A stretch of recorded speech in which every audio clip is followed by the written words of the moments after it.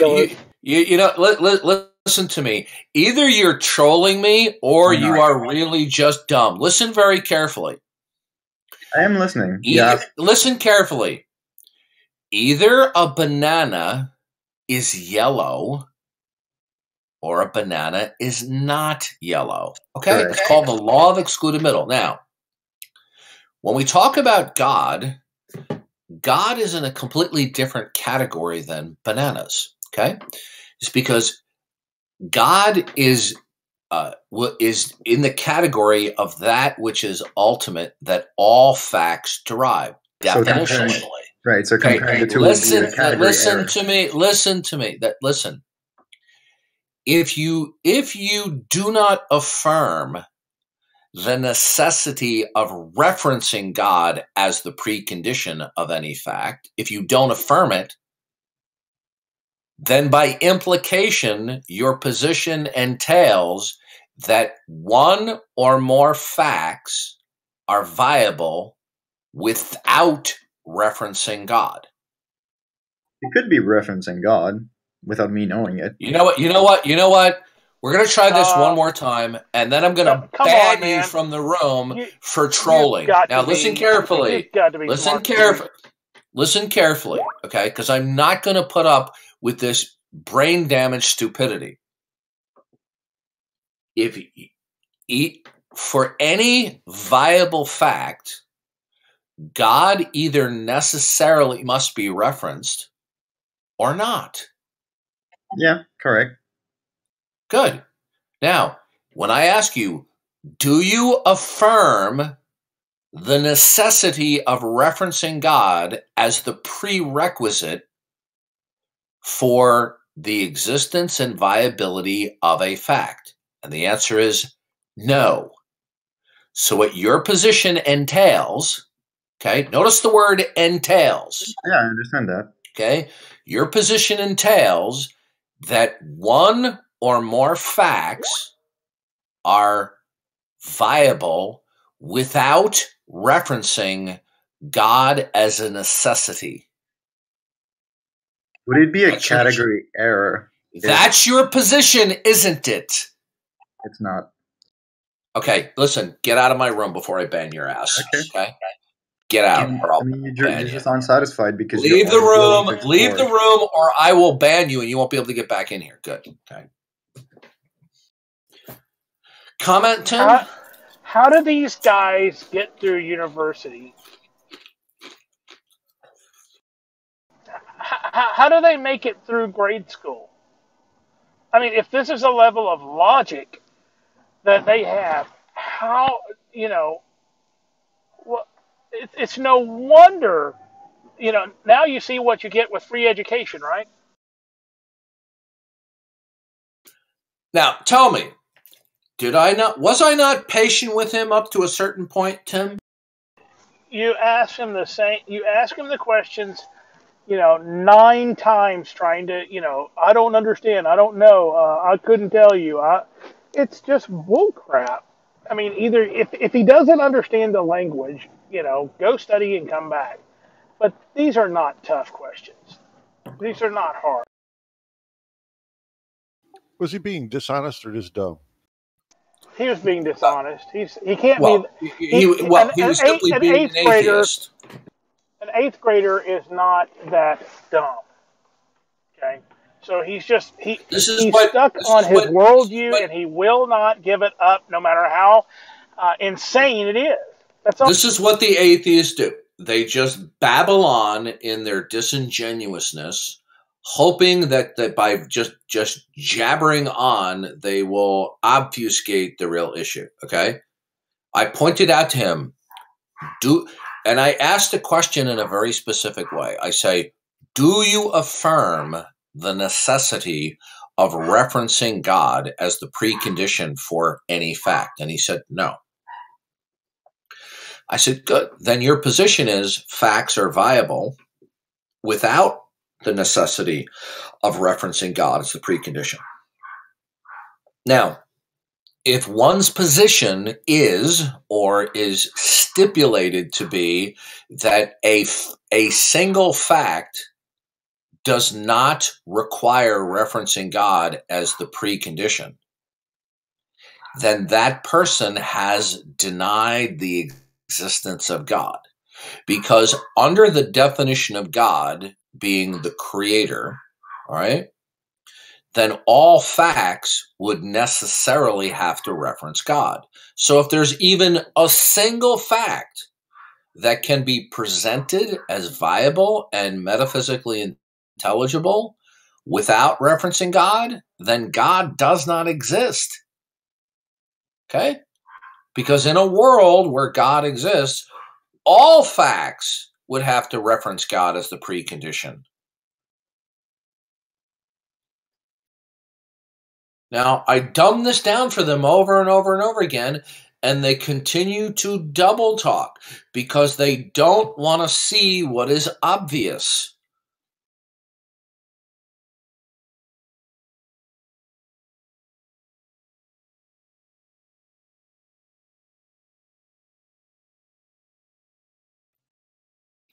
Either a fact necessitates referencing God, or a fact does not necessitate referencing God. And if you can have a fact that exists without referencing God, then you deny the existence of God, whether you intend to or not. And I've made it clear to these numbskulls, we're not talking about God as some unembodied mind that's a superpower. We're explaining to them that God is presented and defined as the ground of all being, the ultimacy of reality from whence all facts derive.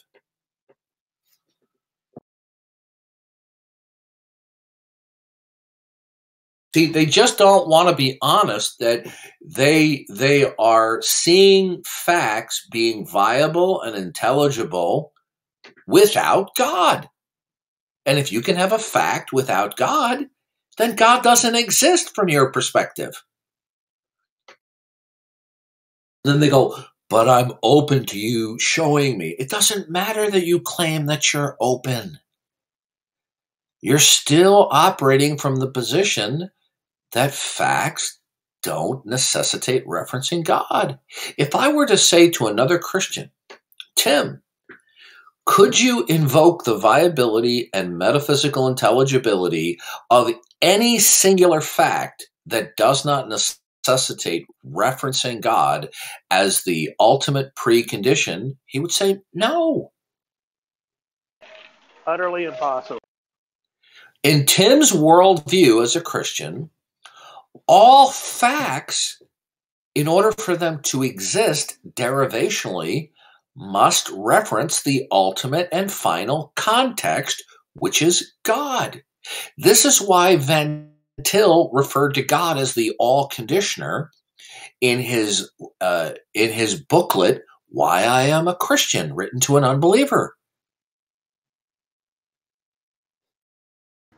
Hey Darth, uh, uh, I'm sorry to interrupt. Uh, Go ahead. I don't know how you run the server. Can I just ask a question, or is that not That's, how the rules that, go? that- no, no, no. That that's fine. Oh, okay. Thank you. Uh, like I, I, I won't be long. I'm. I, I don't think I can. Uh, All right, time's up, Okay, I'm sorry. dude. I'm joking. Oh, okay. Uh, I, I, I, just wanted to ask something about about uh, a past debate you had. Um, I- don't know if you recall. It was quite a while ago. It was with Mike Fahl, F A H L. Yeah, Mike Mike Fowles. He's he's borderline insane. I, that's I, I, I don't know of any other interaction you's- uh, you've had with him except that you one who? debate Do you that know? I've Do you do you, do you know who he is? no no I don't I really I, I don't Oh, know okay. who he is. All right. I know. I know who he is. He's he's not. He's.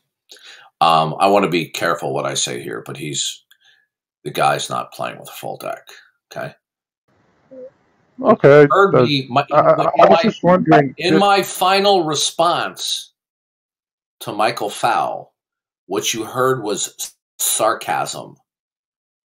the concession in the end. Yes. Oh, okay, okay, okay. Never, that never was mind. pure that that was pure sarcasm.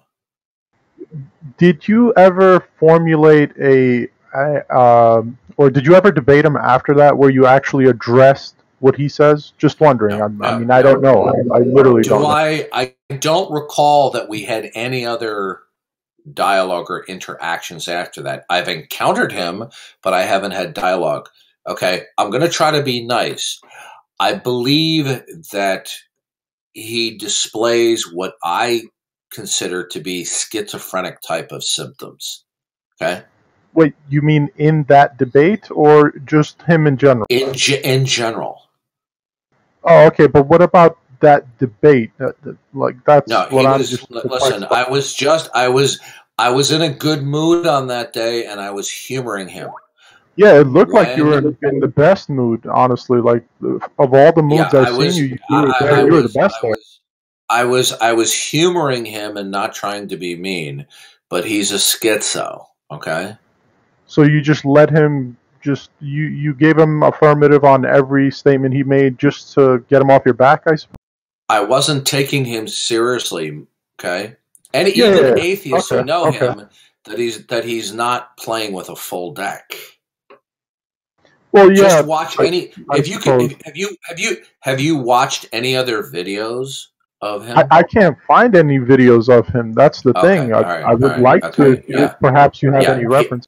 Okay, I'm gonna tell you. I'm gonna tell you right now. It is my Sure, sure. my opinion. My opinion that he's in another world. Okay, and I'm not saying that to be mean. I'm not saying that to throw him under the bus.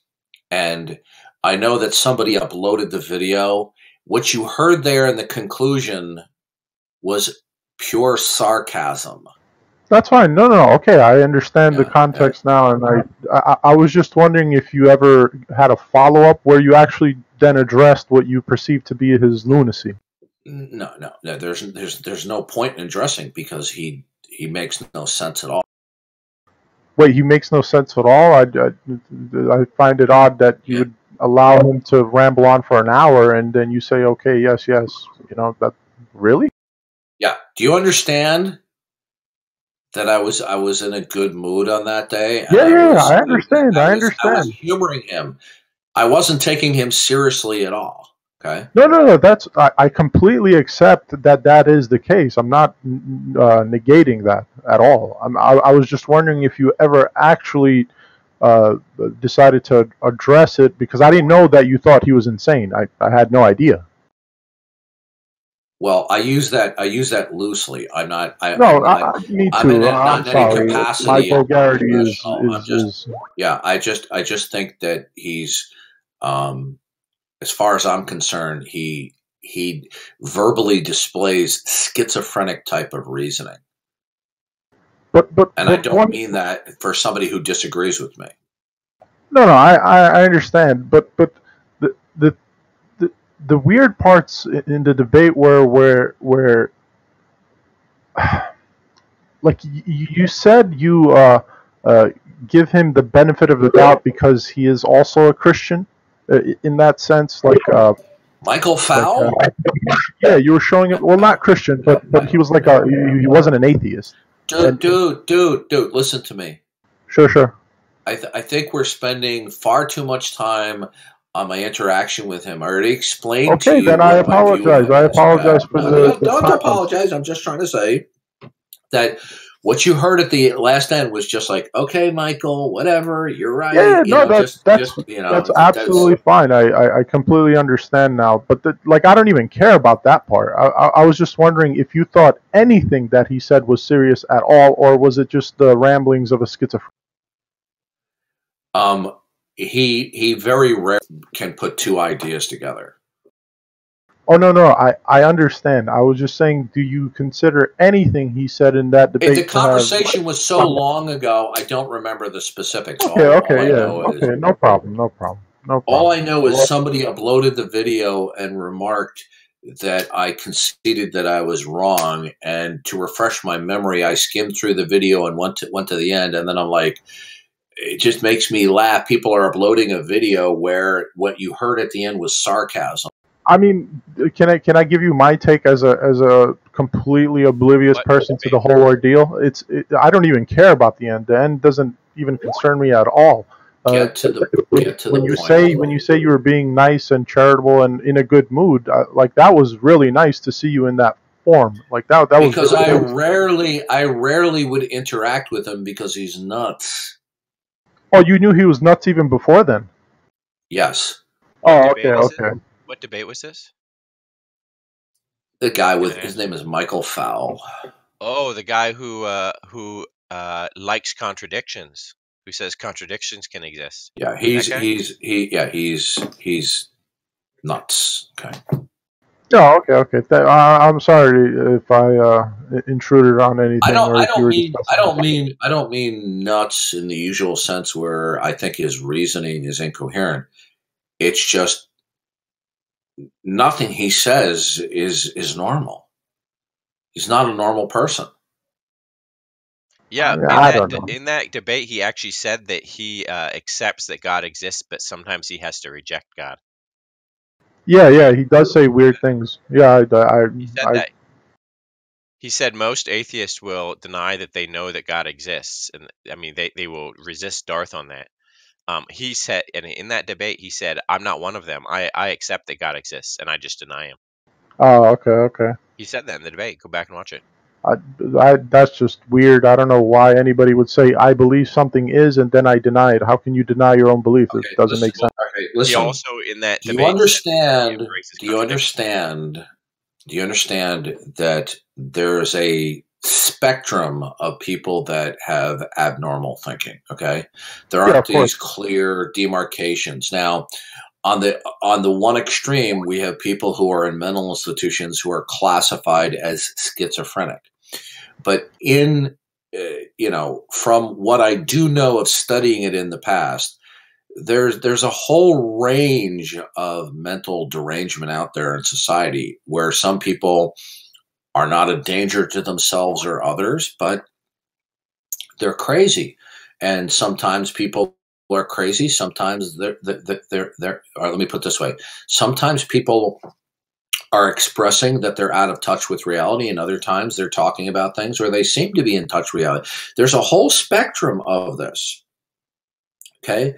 Now, if that's the only occasion that you've heard him, you probably you might not pick up on his lunacy, which even the regular atheists who know Michael, they they, they know that he's not playing with a full deck. Right? I completely accept that. Uh, Uh, there's nothing that you said right now that I would find weird or unacceptable. You're right. I, I, I, that's the only time I ever heard him. I can't even find any information on him. I don't even know who he is. It's just I that's the wouldn't only waste thing I I wouldn't waste your time. Just Okay, then then I wouldn't waste my time either. Uh, but there's nothing that you're saying that that that sounds weird or anything like that. Uh, there I'm were to be parts of the debate. Yeah, there were parts in the debate he was just saying like weird things. I understand, but I don't know. Like it's just one hour debate. You can't say, "Oh, this guy is a crazy lunatic." Uh, you know, like, uh, but you know, some people some people you know things saying. they say you're going to raise question mark like what but if you're familiar with somebody you know that these are these kinds of statements are exemplar em- exemplars of their underlying uh you know uh cuckoo-ness okay well, that's perhaps- michael Fahl for you Well, per- perhaps that just goes to show we're not all equipped with the powers of observation. Uh, for someone such as yourself or others, I, I, I just didn't get that big of a hint of that. I, I don't know if he was actually insane or not insane or not not literally insane, but the the, the, the spectrum you you uh, ascribe to him. But at any I rate, uh, yeah. I wouldn't even really call that a debate because it seemed like either Darth had been sedated, someone snuck. Yeah, that that was weird. That's that's what that's what or Darth said. He was in a good mood, so I, I I didn't know what the hell that was. I mean, it was so long ago, I so I thought I was- I was- I was conversing with Michael. Um, I, I believe it was late at night. I was conversing with him, and I was simply humoring him rather than than just simply telling him what I you know thought of him. They don't. It's not something. It wasn't a serious. You know, it'd be funny is if the the screen flicks over to Darth, and you see him just like browsing YouTube videos, not even listening to to Michael or uh, what's the, what's the guy's name? Mark. Uh, What was his Mike name? Fahl. Mike. Mike. Michael Fahl. He's just browsing YouTube videos and napping. His mic is t- is talking. One one thing I will say though that that that was a side that was actually pretty refreshing to see from the uh, postings of, of people that they have on you, which kind of paint you in a in a in a slightly more aggressive, not just aggressive, but like uh, uh, disrespectful, like like uh, you're eating up too much of the talking time. I know why you do it sometimes because people just aren't answering. I get more. I get more like- aggressive. I get more aggressive and insult when people are showing a pattern of behavior where they're Yeah, like they're deliberately being deceitful and de- Yes, yes, deceitful I and disingenuous, and I don't take kindly to that, and I call people out on it. Of course, of course. No, no, I absolutely know. But but is everybody being deceitful? Like, because not I don't uh, mean everybody. Would you say more than ninety percent of people are overwhelming deceitful that debate you? majority the overwhelming majority of atheists that I encounter to varying degrees or another are dialoguing and engaging with me in a disingenuous manner. It even includes PhD atheist Alex Malpass. Yeah, I, I, I've seen so, uh, and few if you saw the last of encounter I had with him, where I got uh, aggressive with him, is because of his disingenuousness and trying just simply to change the subject onto philosophical minutia rather than addressing the issue. No, as I would as well. Like that, that makes complete sense. I, I, I was just wondering, is there any, like, literally any atheist by name you can think up off the top of your head where you would consider to have had somewhat of a productive debate or debate where, uh, you know, cutting people off or them cutting I you off had- wasn't a common occurrence?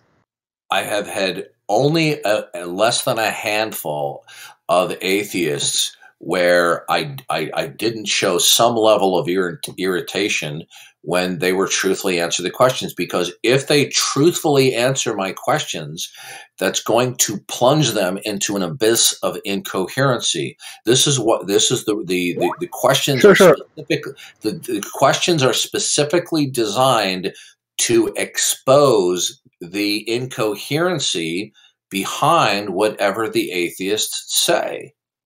And they don't want to come to grips that without the God of the Bible as the all conditioner, that they're doomed to incoherency.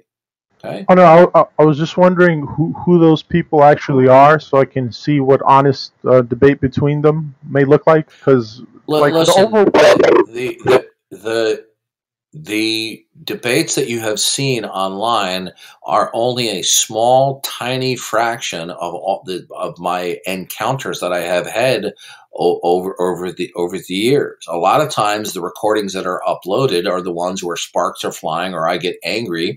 Most of the recordings have been uploaded by people who don't like me and want to present. yeah, yeah, they want clickbait. They want to like paint you in a bad in a light. bad light. That's right. Most of the Yeah, yeah, recordings no, are posted that- by people who are my enemies.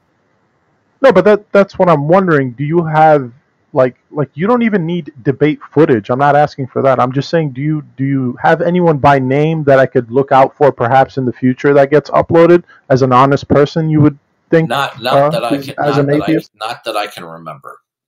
Oh, it was so it was like so long ago you ran Well, across if, someone if, if you if you have an there was I think there was only at least one atheist that I can recall in, in the last six years who simply admitted by answering my questions they're like yeah you're right without the God of the Bible I have no coherence for anything only one atheist Well, because because you have to understand that they are committed to their autonomous reasoning. They do not want to give it up. And when you give up autonomous reasoning, the flip side of that is you are submitting to the mind of God and his autonomy. To not accept the autonomous nature of God's mind is to cling to your own autonomy of reason. And so my questions are designed to show the bankruptcy of what I call the autonomous reasoning or atheistic reasoning to show that it is incoherent. But they want to continue to believe that they can have intelligibility and coherence when they say they lack belief in God. And the answer is they cannot. What what what about uh, when you try to divine the truthfulness of their claims, like their honesty is what I'm saying. You said Well, I already know. assigned to I already know, not because I'm a mind reader, but because God has already diagnosed their hearts. I already know that anything except where they tell me they submit to the mind of God and the mind of Jesus Christ as Lord and Savior, anything short of that is rebellion and an example of uh, autonomous reasoning. Also anybody that even claims they're atheists, they're liars. Um, the Bible says, "Let God be found true, and all men to be found liars." Uh, when in in the Christian worldview, truth is that which conforms to the mind of God and how He has revealed it. If anybody utters any idea or concept that is does not cohere and conform to the mind of God, then we know that it, it is simply not true. Okay? Now, some people make statements because they, they, they, they, they're so diluted in their thinking, they don't even realize that, that they're diluted. But when, when, like, sometimes people just outright lie about stuff. Yes, yes, but I'm just wondering how how do you divine that? How do you know that that that is what, certainly the case? That's why I'm asking Because if all atheists when are somebody tells me, when somebody tells me um, that no, my position is not that I don't want there to be a God, I know that that's not true. Because the Bible teaches me that autonomous reasoning only is the consequence of rebellion. Autonomous reasoning is where the mind of man will make a determination as to what the nature of reality is. So by you can have a canvas or a framework upon which to place facts.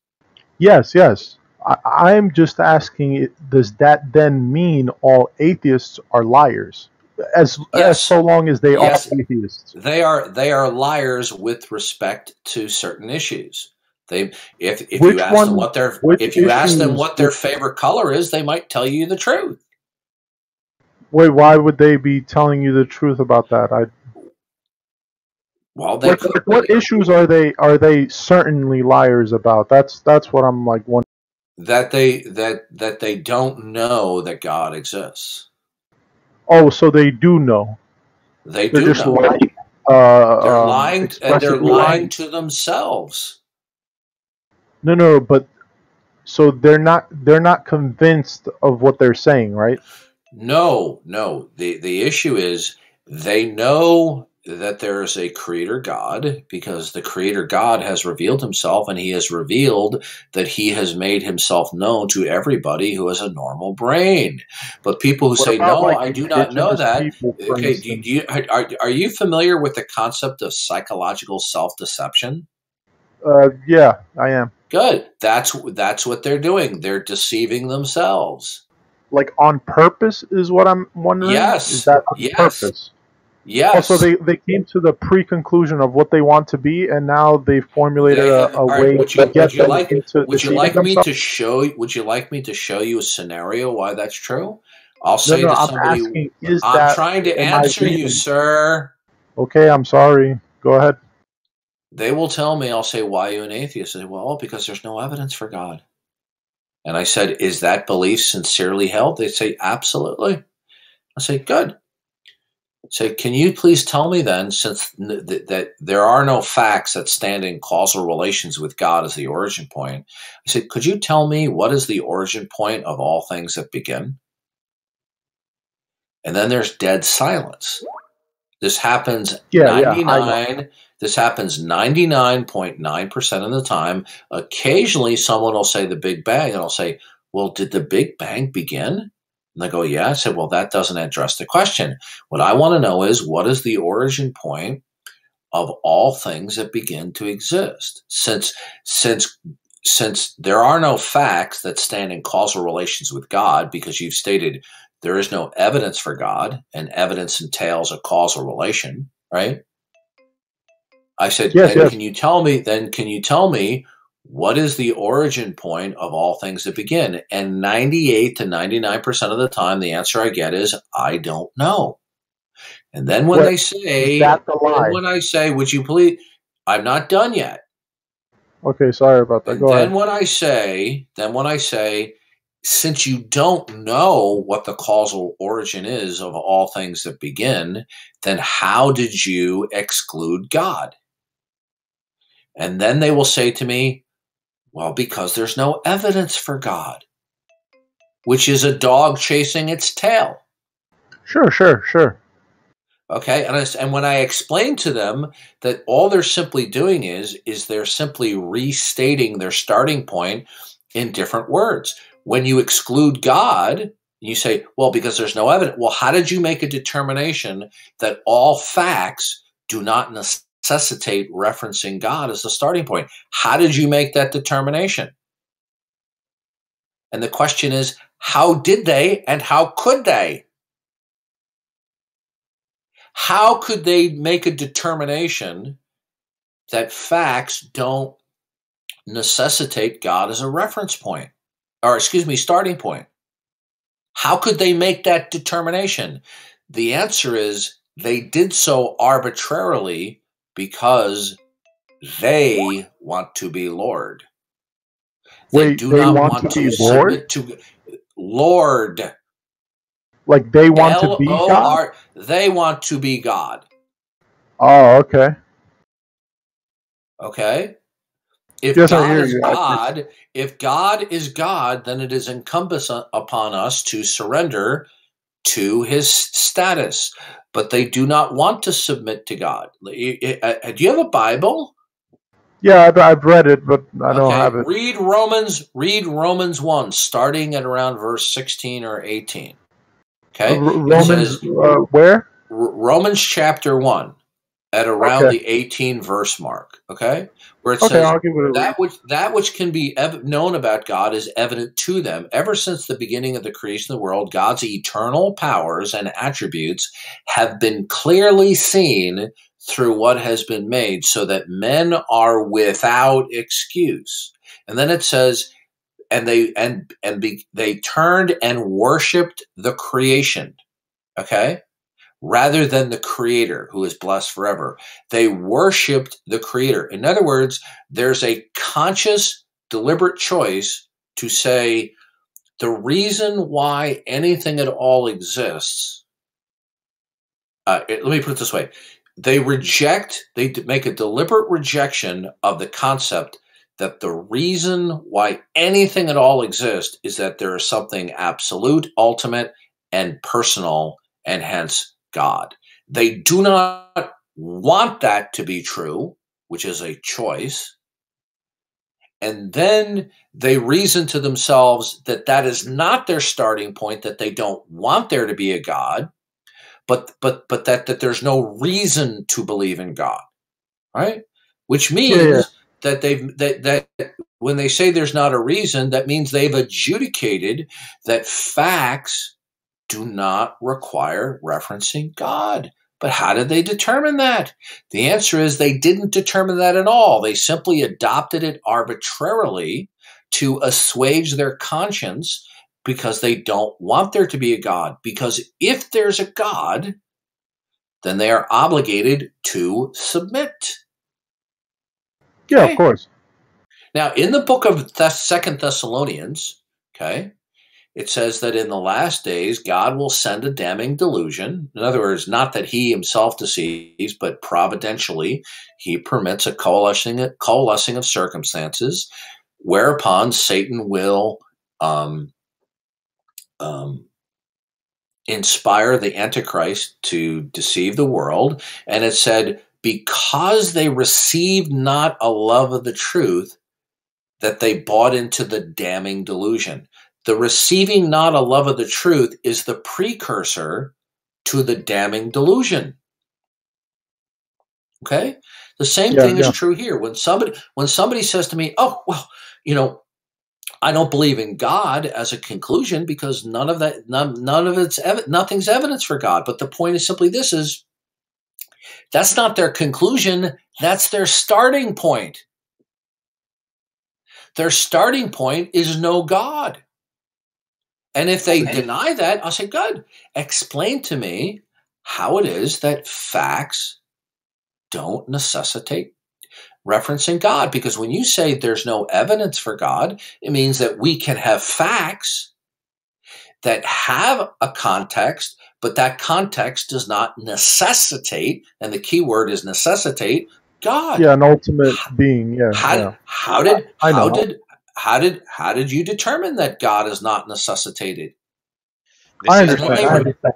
Uh, I, I, I do. I was do- just going to say uh, this is why most intelligent atheists will try to uh, squirm over into uh, agnosticism because they Oh, No, that's, that that's I was totally gonna ask. I was gonna ask, what of like people who think they're agnostic, or what of people like indigenous tribes that have never met, you know, uh, how can I say, uh, civilized world, so Okay. they don't know what the Bible or any All of these uh, holy texts are. Like, what of those people? I just just wonder.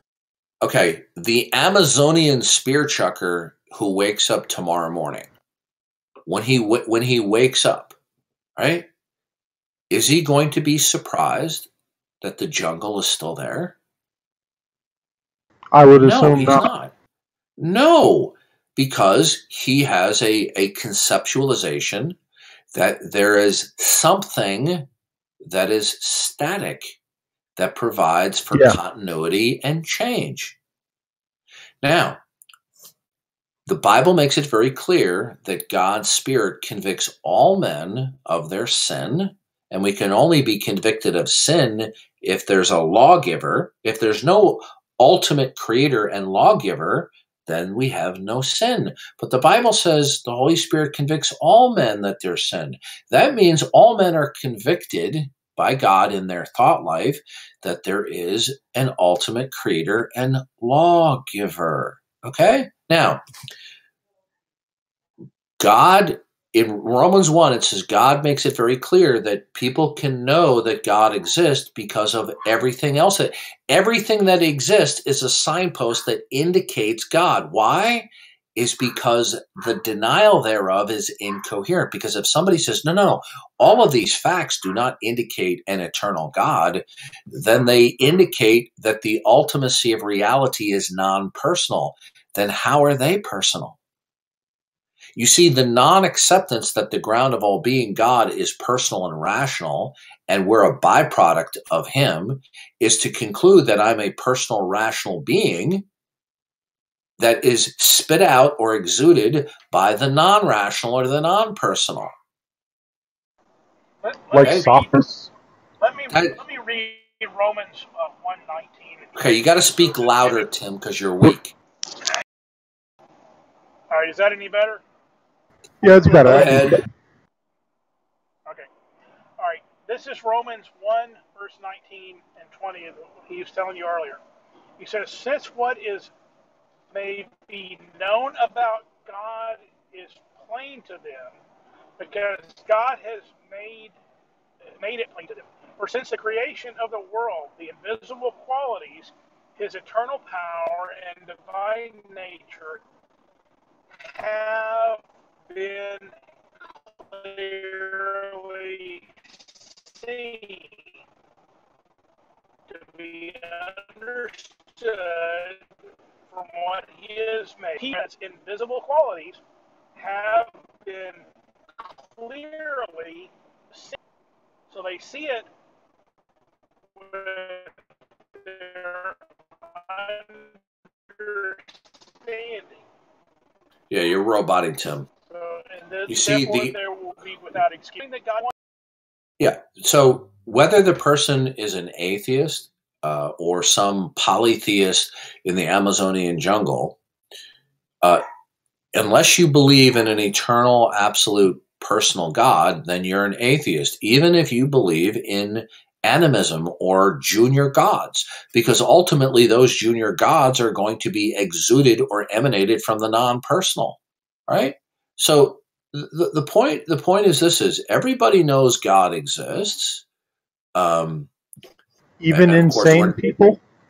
we're Uh, not talking we're not we're not we're not talking about people who even there are even insane people who know God exists. But th- what we're talking about is not people who are brain damaged. Okay, people No, no. are I'm, I'm just asking uh, as a side. I'm, I'm not trying Well, to make it a insanity point. Is just wondering. insanity is generally uh, a biological a marker uh, that it, it, that there's something wrong with the brain. Yes, The of course. point the point the point the point is this is I ask very precision questions to get to a point where the person's own position ends in catastrophic futility. That it is it is not just simply fu- futile, it is impossible to deny God.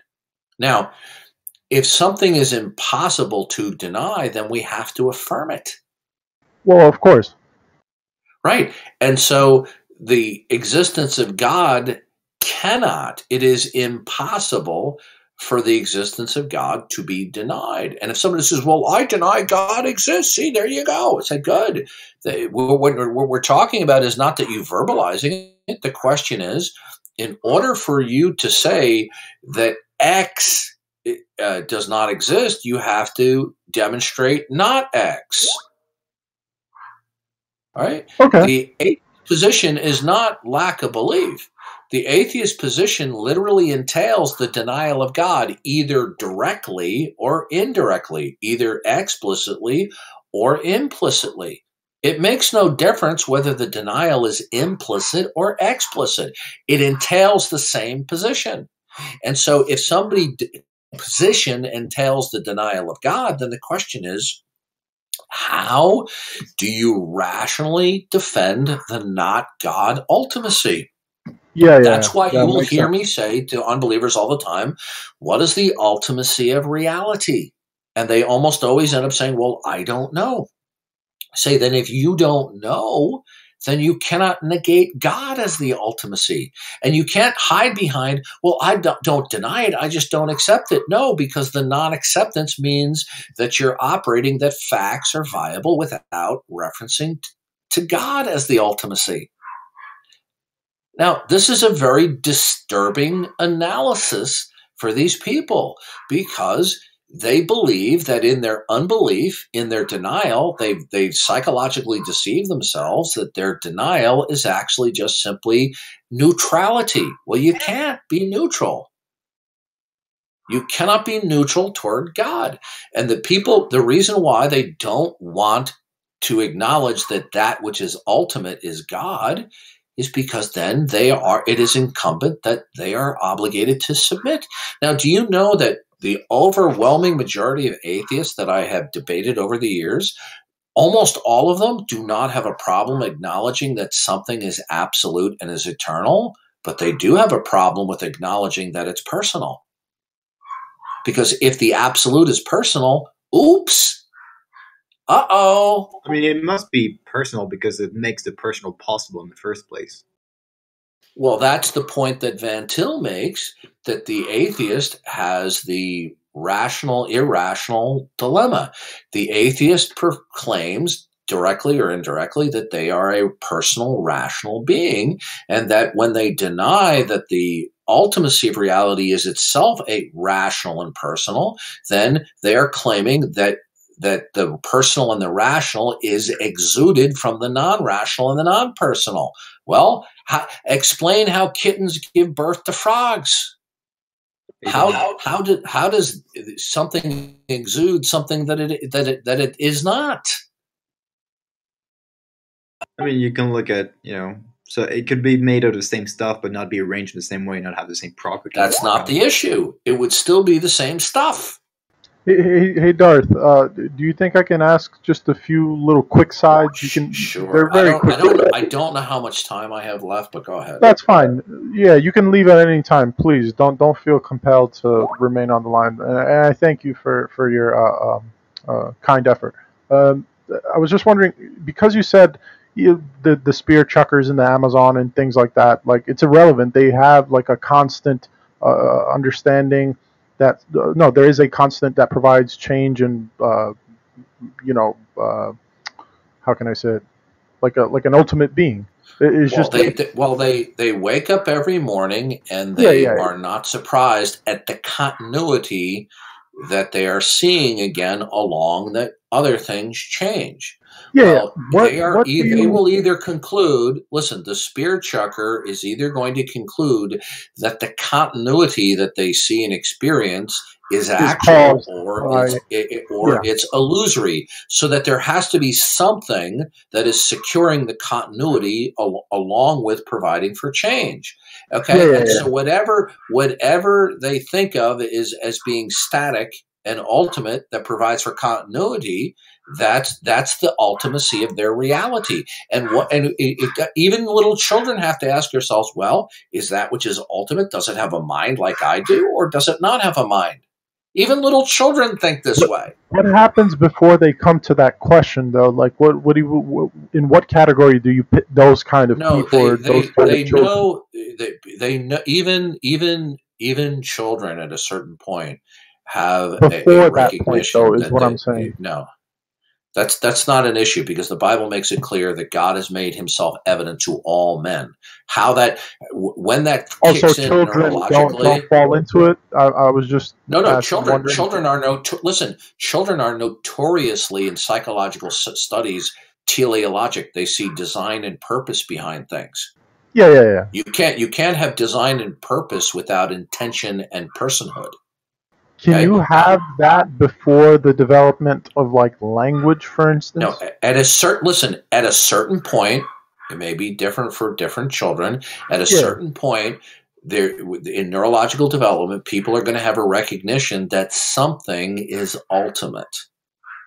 And the next question is, well, I'm not ultimate and I'm I'm personal. Now they're not they may not use those words, Yeah, of those course, of course. are there. And so the question is, well, I'm not I'm not ultimate, so is what is ultimate like me? Or eh, or am I simply the the product of something that that bears no resemblance to me, meaning the non-personal? Okay? Even children think this way. They wouldn't express it the way I did. Okay? But Yeah, naturally, You know, they they- lack the capacity to do so. The point the point is simply this the non-acceptance that the ultimate is personal is the denial of it Yeah, of course, Okay. of course. Now, uh, one final thing. This the, this will also just be as quick. Uh, does uh, where do you stand on on people that say, "Oh no, the the God in that I believe in the Torah or the All right. God that I believe right in the i'll be, I'll be back it's in the i'll be same back in five and then i'll be back in five minutes Oh, okay, okay, sure. Go ahead and ask the question. Yeah, uh, the the question was, what if things stand as they are, um, in the sense that everyone actually knows that there is a God, and then anybody like atheists, they're just purposefully deceiving themselves and such. They're, they're, What- they're, suppressing, they're suppressing. I'm sorry, what? They're suppressing the. Yeah, yeah, they're suppressing the truth. Yeah, yeah. But I, I was wondering, what of the people that uh, also claim, uh, um, you know, we believe in that same being. There's no differentiation with respect to his capacity, his capability, and things like that. The people like of like that believe in like the Quran, for instance, uh, that that is a, a book also that came down from the same God. Like, what of those people? Well, Oh, oh, and- and please, please, please, Yeah, before you go on, just one, one, one final thing. What, what is the purpose of uh, the need? Was there a need for any of these books to even come to existence in the first place? Like, does the Bible make an accounting on why it's even necessary, considering um, everything is already as is, and most people either believe or just are deceiving themselves? Like, what's the point of any of these books then? That's a good question. okay. The um, the reason that we have the Bible, the reason that uh, see the knowledge of God is not salvific. It condemns a person because the Bible says that everyone knows there's a God, and He has written His law in their heart. Yeah, yeah. So I was just wondering knows- what. Hold on, I'm getting there. So Yeah, sorry, sorry. Knows that they are, they know there's a God, and they know their actions, not all their actions, but they know that their actions uh, are wicked. They know that they shouldn't lie. They know they shouldn't steal. They know they shouldn't kill. Yet they do it anyway. The purpose of the Bible was God was okay. The God of the universe, the, the Christian God, is a God of love and mercy, but also wrath and judgment. So there has to be, uh, from the very beginning, from Adam and Eve, God set a plan that said, don't eat of the fruit. If you eat of the fruit, there will be punishment. You will be, you know, you you on that day you will surely die. Okay, so there was. Uh, he said you can eat of all this, you can take care of it, you can do all you want, you can have autonomy, except for one thing: don't eat of that tree. When they did that, they were. I mean, before they did that, they were lavishing in God's uh, mercy and protection and abundance and everything else. When they did, when they violated His law, they fell underneath His judgment. So He told them, you know, this is what's going to happen. So it had to happen. So on that day, they were spiritually dead, and they passed the spiritual death upon to their children. So in order to, so someone had to pay the price for the sin that the that our father Adam did, the sin nature that passed on to every person. So in order for God to be loving and merciful, yet also fulfill his wrath and his justice, there had to be a way. And throughout the Old Testament and into the New Testament, it's showing that God would provide the salvation of man through sending himself, his son, God would send his son to take on the wrath from God so that Of the sins of people. would, Yeah, I know, I know. The sins of his people would be paid. And Yeah, I know. go free. So you know this. Yeah, of course, of course. Okay. So do you understand why do you understand why the book, books were written? No, no, no. I, I, I, I understand, have a I question on understand why. Oh, go ahead, Adberg. Uh, Ardbeg. Ardbeg, Um, I'm sorry. Yeah. Uh, I, that I guess I mean it makes sense. I, I mean I get the the, the story. I, I mean it makes sense, but to me it just raises a question, lots of questions. But the main one just kind of being like, so if there's a God of the universe that is able to communicate to all people that He exists and then condemns them, why why wouldn't He be able to also then use that same communicative uh, essence to to then just let everybody know that you know he's got a plan and there's here's the plan and here's how the plan to make it right. So it just seems Oh, I odd don't- now we have to interface with a an ancient text. No, no, it's it's not even that. Like I don't even care about like what what his will or any of that may be. Like if if we stand affirm that every person knows that God exists, I just don't see the purpose of the text because we already know. Like it's fine, so there's no need for the text. We know how we should act accordingly, I suppose.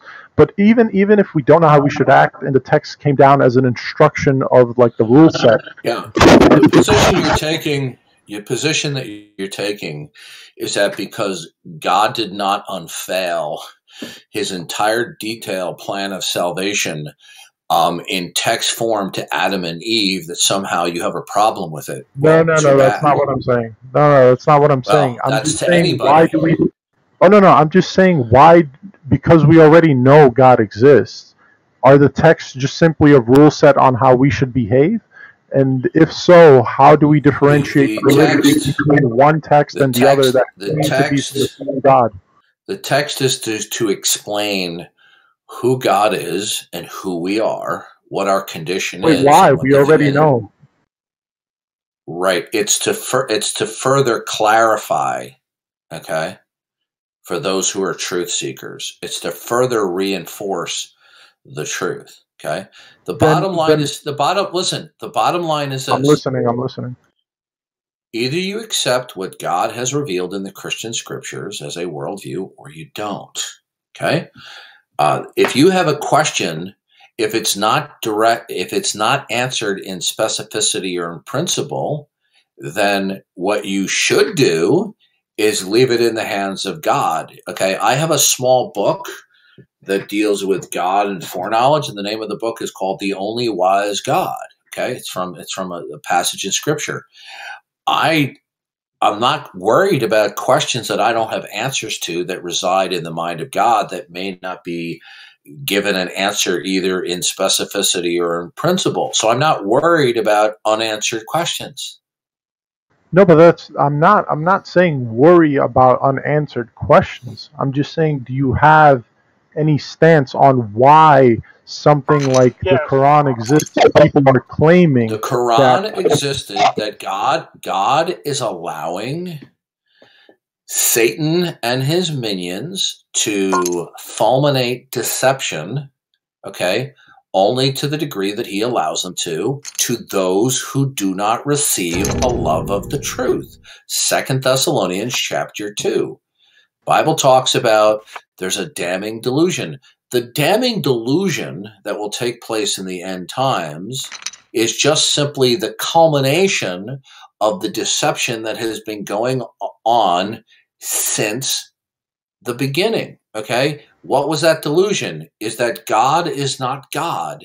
In other words, God, it, when Satan deceived Adam and Eve, what he was attempting to get them to accept is, is that there was not a creator creation distinction, but that God was just another creature within the same system that they were in.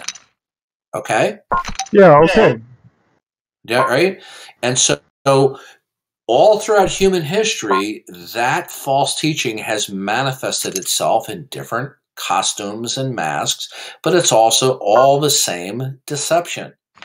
And you, you either have a person who has a love of the truth and they respond to the convicting power of the Holy Spirit and they come to have repentance and they come to faith in the Almighty true Creator, or, the, or they don't.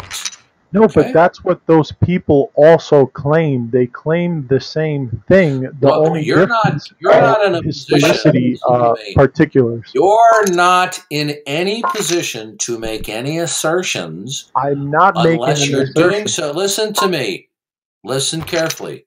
I you will. are not in a position to make any assertions about anything unless that assertion uh, is reflected by the mind of God and how He has revealed it, either in specificity or principle. Okay, And that I'm means not, that I'm means denying good. that. Okay, good. Well, that, but yeah. that's that's that's but that in there lies my main question. If if for instance, like the Torah is not to be heeded and the Quran is not to be heeded, what epistemic like system? No, that's not the biblical position. The I biblical know position it's not the is biblical position. in I'm Second saying, Timothy. It know? says all Scripture is profitable for training in righteousness. Okay, Re- reproof and correction that a man of God may be complete or adequate or mature before God. Okay. Yeah, but I'm asking why is the Bible the determination is point there? By God, the Quran is not. The Quran, Wait, wait, the what, what? that- the Torah is just simply the make believe world of Muhammad. The Torah? No, I said. Did I say the Torah? I said the said Quran. Torah. It's Quran. I mi- I misspoke. The Quran. Yeah, I know, I know. I can, the you can make-believe. say that, The Torah is but, not. The Torah is a part of the set of the Christian scriptures. yeah, but how would you know this? That's what I'm asking. Oh, very good Because- question. How do we? Yeah, how do we know? Because the Quran makes the same claim. Because I will, just I will explain it to you. I will explain it to you. We can know that the Bible is the Word of God because when we relinquish our autonomy of reason then its self-attesting nature will be evident.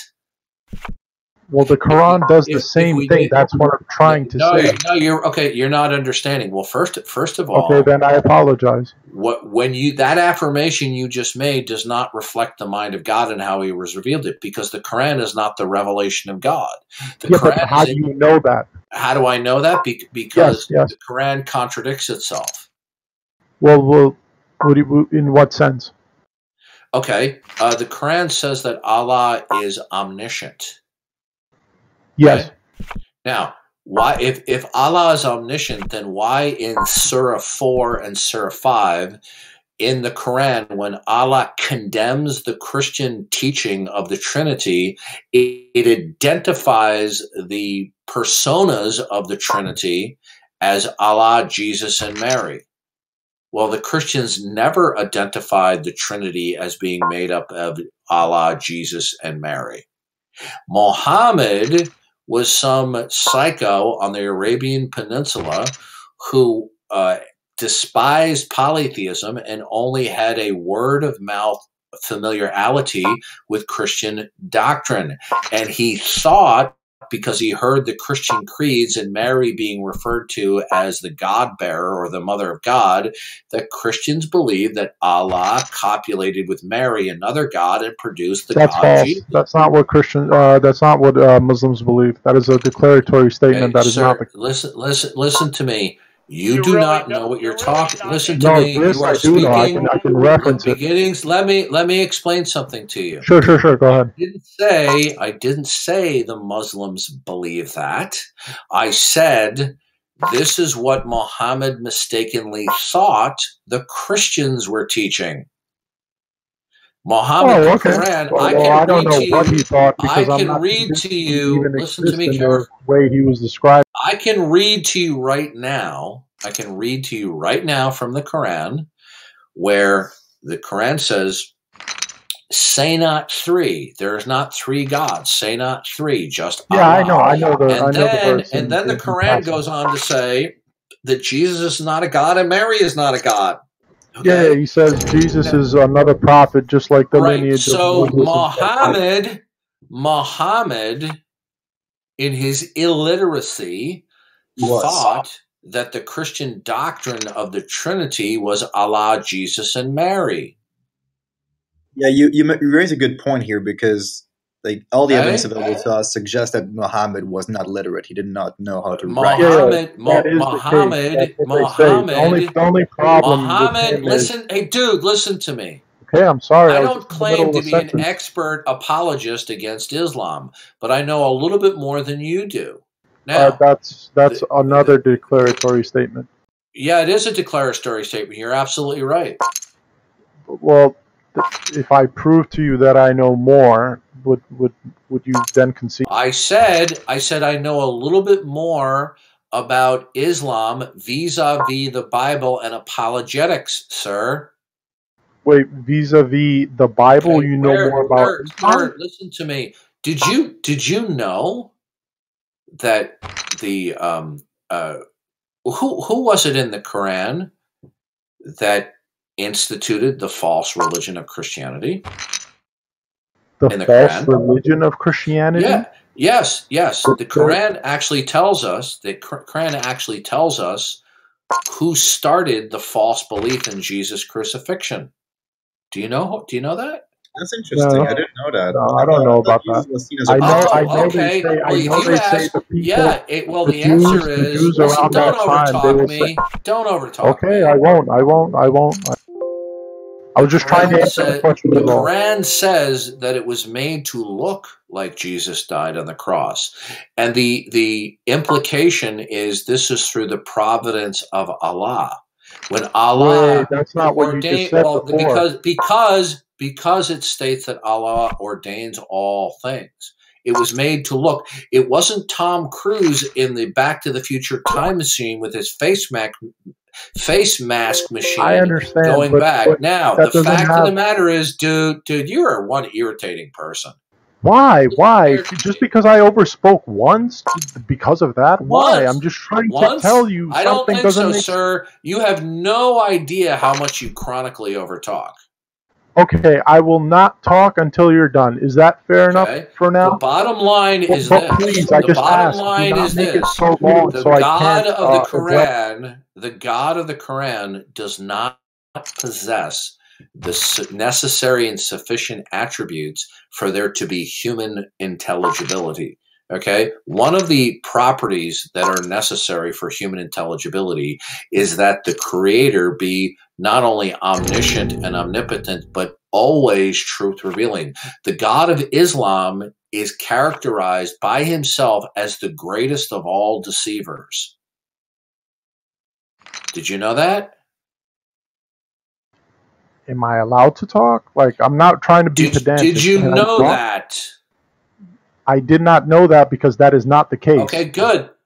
Oh, it is the case because the Quran says in many instances that Allah is the greatest of all deceivers.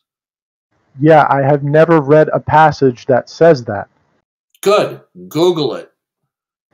It says it mean? in I numerous whole thing. places. Well, let me explain something to you. There are some translations where the Ara- that where they deliberately mistranslate the Arabic to say that because they want to hide the fact that Allah is the greatest of all deceivers, so they will translate it that He is the greatest of all planners. However, when you look up the Arabic word makar, right, and you look it up in Arabic lexicons, it means to plan, to scheme and plan to deceive. Okay? And it says in many places, over and over again, Allah is the greatest of all deceivers in the Quran. Okay? Now, uh, here's another problem. How do I know the Quran is false? Is because in order to have intelligibility in reality, the problem, the philosophical problem of the one and the many has to be solved. Okay? It The in the philosophical problem of what? It is in the Quran. What is in the Quran? It, it, it solves for that. It makes the Okay, you're an same. You're- uh, you're affirmation. You're you're an you're an idiot. Okay, What is the one and the many problem? it can't be one and many. What is the one and the many problem? That it cannot be one and many. Sir, That what cannot be one and many. what is what is the one and the many problem? God cannot be one and many. Really? How do you know that? That's what the Quran says. No, you're not, you're you don't know what I'm talking about. Oh, the okay, one then- and the many problem. The one and the Uh, many problem is what what is it that is central and characteristic to the ultimacy of existence? Is it in its oneness or not its oneness? And not its oneness mean many. Does the Quran does the Quran solve that problem? Yes, by saying God is No, it doesn't. No, and. I'll tell you. I'll tell you why. So It ascribes when the, when the Muslim, when the, omniscience. listen, dude, you don't know what the hell you're talking about. I wish you wouldn't. I mean, be I so can ignorant. reference it. Listen to me carefully. You don't even understand what I'm talking about. That's the sad thing. I, okay. I don't think he understands what the, the, the one in the many problem is. I'm still. trying to explain it to you, but he keeps shooting it. Explain it to him, but he keeps shooting his mouth off. If if the if Allah is the ultimacy of the rea- of the reality, then the question is, what is it that exemplifies him centrally? Is it his oneness or not his oneness? What's the answer, smart guy? I don't even know what the question even is asking. I- precisely, just what I told you. You don't even understand. Okay, so then now I concede Yeah. and I is apologize. Allah is Allah in terms of his ultimacy one or not the one? One. That's what the Quran is Excellent. claiming. Excellent, excellent. Now we're making so Allah in his ultimacy is just simply a one. Okay.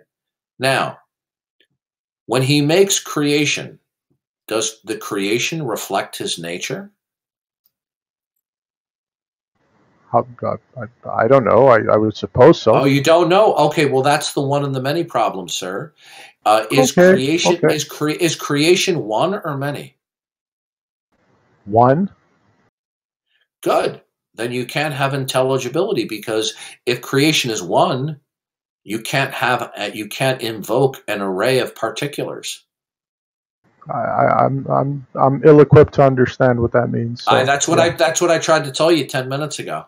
Okay, and I accept it now. Thank you. Yeah, the Quran, because Muhammad was illiterate, he didn't even understand the one and the many problem. He didn't understand the Christian doctrine of the Trinity. Okay, the Quran historians, even uh, even though some historians are critics of the Bible, many historians take the Bible very seriously. They don't take the Quran seriously. Everybody knows, except for Muslims, what the Quran is. It's just the, the, the raving imaginations of some crazy guy in the Arabian Peninsula. That's all it is. Well, uh, are- you're talking from a historicity standpoint. Is that where yeah, you? sir. Did you know? Did you know? Did you know that the Quran stipulates? It says, "O Mary," referring to Mary, the mother of Jesus. "O Mary, sister of Aaron." Do you know why that's a problem? It refers to Mary's. they it also refers say to, people it refers to Mary. I'm about to kick you out of the room. It says that it refers to Mary's father as Imran. Okay? Do you know why that's a problem? It's because Miriam was the sister of Moses, and her brother was Aaron, and her father was Imram. Now, Muhammad was illiterate. He confused Mary, the mother of Jesus, with Miriam, the sister and of Moses and Aaron. Okay? So if you if you attempt to put the Quranic writings on an equal level with the Bible, you're going to fail. I'm not doing that though. Good. I'm Then asking. we can we can and so for the sake of conversation, we can recognize that the, the Quran cannot be recognized as self-authenticating and self-attesting. Wait, wait. Okay. Because they're not on equal footing, they cannot be self-authenticating. The Christian don't understand how scriptures from. Genesis to Revelation are self-attesting. Okay? I don't, I don't know. I don't know how to I, respond. Well, th- then, well, here's the point. The reason why you would not accept that is because either one, you aren't familiar with the Christian scriptures, or number two, in more likelihood, you are still holding to the autonomy of human reasoning. So I'm going to ask you. I'm going to ask you a question. I'm going to ask you a question, sure, sure. which will re- re- re- which will reveal it. Okay. Do you are you have you uh, have you read the Bible at all? Yeah, I've read it like I think three times Okay. in my life, Do you many do years you, ago. do you accept that the Bible from Genesis to Revelation is the infallible, inerrant, self-attesting Word of God? Do you accept that? I don't know how what that means. Do you accept the Bible as the infallible Word of God? No, no, I don't know what that means. Like when Do you, you say accept that the infallible, Bible what- is the I don't know of what that God? means. No, no, but I don't know what that means. Then you're not of God. familiar with the Bible. Wait. Then Do you not you know what Okay. the word infallible Okay. means? Do you not know what that word means? No, no, I, I, I do, means but I don't know what the word error, of God without means. mistake. Yeah, what it means is the Bible is the very message that God intended to get through to humanity using human instruments as His medium. Do you accept that the Bible that God used over forty different authors to write down the exact messages using the experiences of their lives and their personas to get across an infallible message to humanity, which is the sum total of Genesis to Revelation. Do you accept that or not? I do not have enough information to tell you if I Okay, do so or an- don't. so the answer is so the answer is okay, I'll reword it. Do you No, I affirm understand that the you. Bible understand. don't overtalk me? Do you affirm? Do you affirm that the Bible is the Word of God and the ultimate authority? Do I affirm? Do you affirm that? No, no, I, I don't. I, I feel ill-equipped to do. Okay, that, that, then good. Then you are operating from something else that is the ultimate decider as to what the nature of reality is. Okay, Good. And that means you. um, I, I guess I, I don't know. Good. So then you are operating under autonomous reasoning. Per, perhaps I, I don't know. No, not no, not no, not perhaps, because either God is operating under autonomous reasoning or you are operating on autonomous reasoning. Because if your reasoning is not autonomous, then by default your reasoning would be in submission to the mind of God and how He has revealed it. Oh, oh, perhaps I, I just don't know. no, not perhaps, sir. There's no, No, I'm- third option. I am saying I don't does know. God, does God and his progressive revelation tell us what the nature of reality is, starting with himself and his plan of human history? Is that the case? Or do you decide what the nature of reality is, whereupon to place facts? Wait, progressive re, uh, progressive revelations, Okay, sir. like events in history. Okay, What, what does what that mean? the- listen, listen to me. I'm going to ask you a very simple question. I'm What is the Darth. ultimate? I'm honestly What is listening. the what is the ultimate nature of reality? I don't know. Okay, then you can be quiet. Okay, I will. Let me- Because- let me step in here for just a second and say, Sure, go ahead. for someone for someone who says they're not going to talk over someone anymore, you sure took a lot of talking over. If Who, you me? don't know, if you don't know what the ultimate nature of reality is, then you have no framework or foundation to affirm or deny anything. Yeah, when Darth says you can be quiet, he doesn't mean it as like uh like I don't like you talking, so shut up. That's not what he means. Yeah, I'm, I'm, I'm saying, I'm saying is, uh, yeah, that, thank you for that uh, qualification. Parakeet is right. I'm not saying don't talk. I'm saying is once you concede that you do not know what the framework of reality is, then your affirmations or denials about anything are meaningless. Okay, that could be the case. I just don't know anything. Then you, you then you can't say that there's an I to be distinguished from something else there for you, and then you wouldn't even know that you know something. Well, fair Because enough. If you, if you say I know, that means you're in possession of some cognition and reason.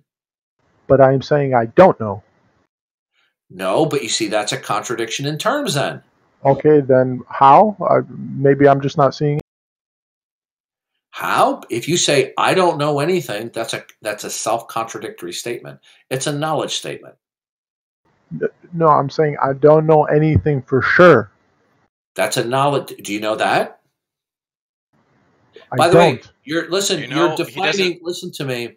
What you're saying. What you're saying is is I won't assert anything with absolute confidence. So what? so that's it. Good. Then then you don't. Then you shouldn't be talking. Wait, so but if I do talk, what does that mean? It means it's all sound and fury, signifying nothing. Do you understand? So how are you able to communicate with me? You're not understanding. By the way, you're using the word knowledge in a bastardized way, meaning it's a belief that is considered to be true in varying degrees of confidence, as opposed to the standard definition of knowledge that a belief is held to be true because there is a justificatory path. Okay? Now, when I say no, when we when we generally say no, we're, we're we are referring to a justificatory path, right? If somebody says, "Oh, what time does the movie start?" The guy says, uh, eight o'clock." Do you know that? And what they're saying, they're saying, that, "Yeah, I know because I looked it up." They're making an appeal to a justificatory path. Now, the point is simply this: either you have a basis to make affirmations or denials about anything or you don't. But you've already answered that question. In your non acceptance of the self disclosure of the Christian God, you have basically denied that the Bible is the absolute authority as to the nature of reality and the plan of human history. Therefore, you're not in any position to argue about anything because, in order to argue, you have to posit that certain things are true. But you don't have a framework to affirm or deny anything, do you? Do I do I answer now, or are you do you have do, do you have an ultimate framework about what reality is in Oh no, no, I don't. out of, I don't. out of which that you would be able to affirm and deny things? Perhaps not. I don't think. I'm not sure. Okay, th- th- th- then then as Parakeet said, you can be quiet because then anything that comes out of your mouth will be arbitrary. Okay, that's that's fine.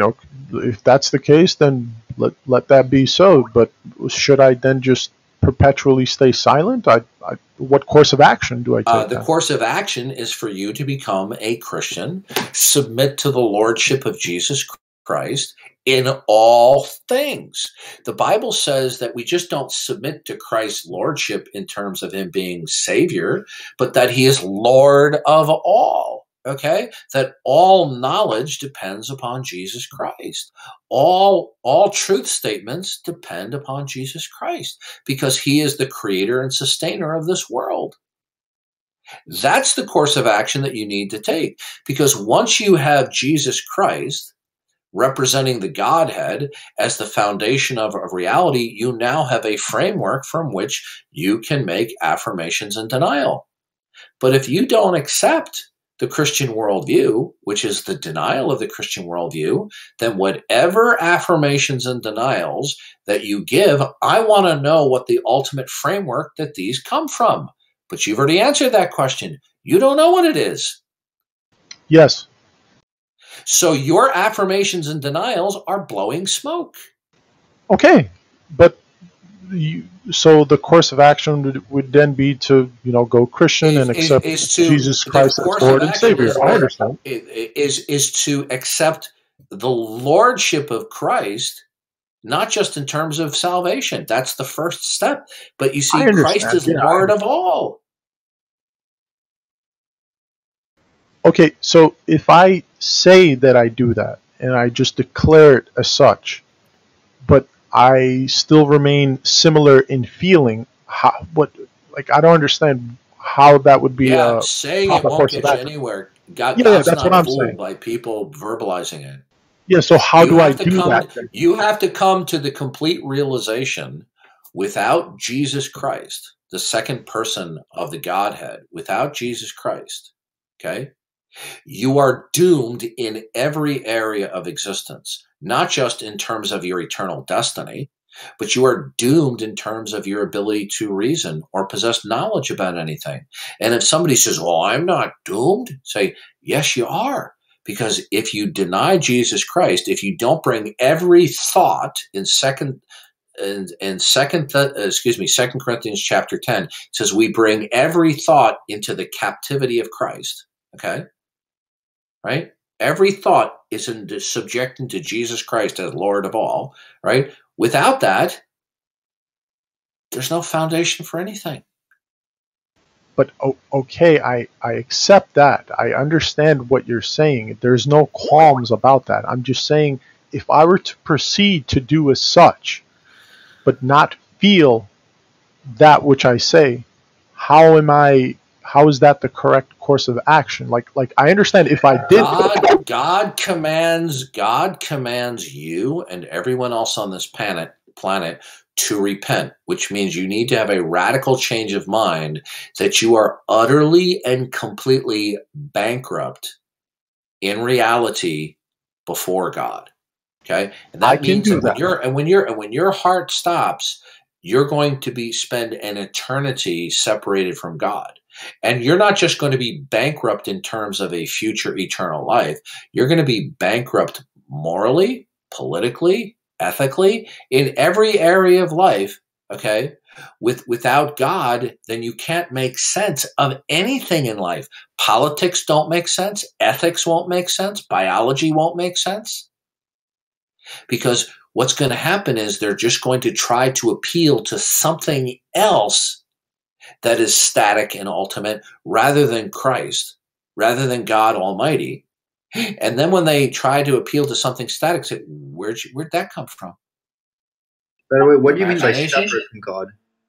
What's that? What do you mean by separate from God? I understand you mean hell, but like, what does that? entail? those those who do not repent throughout the course of history and recognize their utter spiritual destitution and our sinful status before almighty god that there is no self effort no course of action um, uh, consistency of behavior that's going to motivate God to keep us out of hell. The only thing God recognizes is that He commands all men everywhere to repent and to believe on the Lord Jesus Christ for the remission of, of, of sins. No, okay? I I understand that. I understand the conditions that must be met in order to not end up in a separation from God. What I want you to explain more, because I'm kind of confused about that, is what is this separation from God? Explain more And about how is what? it even possible? Well, how how is it even possible? Because our our own existence, you know, by itself. Can you Yeah. not hear him, Darth? Am I still heard? No. Uh, I can speak. Well, I mean, I can hear you, but I don't think you can hear him. Mic check? Yeah, no, I'm here. Parakeet, can you hear me? Yeah, I can. I think I Darth- hear you, Darth. I hear you, Parakeet, and I hear uh, Udros, U- Uridas. I'm here. Uh, maybe maybe you know Darth muted Yeah, Darth me. Is gonna have to reconnect. Okay. I messaged him. There he goes. I don't know if I'm muted. Can you hear me now? Yeah, I hear you. No, I was asking. I was How- asking. about now? Darth. What do you want to know? Um, well, you, you spoke about the, the conditions that must be met in order to not end up in that separation from God, and I understand that. Uh, my question would be, how is this? I mean, in what sense would it be a separation? Because I, I, I, would assume that you believe our very existence is dependent on the existence of God, right? Yeah, we will be. We will. In other words, we will not. We will not enjoy the presence of God and His blessings in the future. We will be sent into outer darkness, where there will be weeping and gnashing of teeth. But would it be a complete separation, or only when it comes to the blessing and the presence of God? They're going to be separation means we will be exuded from the type of a blessing and peace and happiness that God uh, planned from the beginning. You will be under his wrath. Does separation does not mean annihilation. Yeah, right. yeah. So that's what I was trying to understand But because you you won't you won't be uh you won't be separated Yeah, from God. people will be sent into the lake of fire You where they will be under eternally separated for eternity. From God. They will get what they wanted and what they deserved. do you think people want to go to hell? Yes, Really? I mean, They really. reject God. They don't want to be around him. They don't like him. Uh, they they they they they want to go to hell in the sense that they refuse to take God seriously when He convicts all men throughout human history. See, people have a different amount of not like, for example, myself or other Christians in the room. We have far more theological knowledge than some of the great uh, believers in the Old Testament. We've been blessed with far more theological insight um, and wisdom from God than some of the great Old Testament saints because they hadn't received it yet progressively. But regardless of one's time in human history, right, everybody has the light of God. Okay, and God's Spirit convicts all men of their sin, and all men know of their guilt and their temporal separation from God, and that we're alienated from God, and that there is a need to be right with God before we die. This is known throughout all ages. But because men want to commit themselves to their own autonomous reasoning, they disregard the convicting power of the Holy Spirit, and then they manufacture the world that they think and want to believe they live in. Um, to answer your question in a different way about people, are people not wanting to be with God? I'll give you a, a quote from a, a honest, an honest quote from a famous atheist, Matt Dillahunty. He said, "Even if Jesus existed, uh, I wouldn't believe him." Or he said he wouldn't be worthy of belief, and I wouldn't believe in him, even if he I mean, existed. Even if he Of belief or of worship? Uh, well, he said worship, I, I think, but Yeah, because there's a big distinction between the two here. Like, Right, you can Aaron believe in someone's like- existence without worshiping them. Which which what Matt Dillabloviator didn't recognize is he uttered a complete incoherent statement. you made that point before. I understand what you mean by that. Uh, Yeah. uh, but back to the whole separation from God thing. I think the term separation from God is kind of confusing because, according to the Christian position, even our our existence requires God. So we would be in some framework that would be dependent of God in No, some way.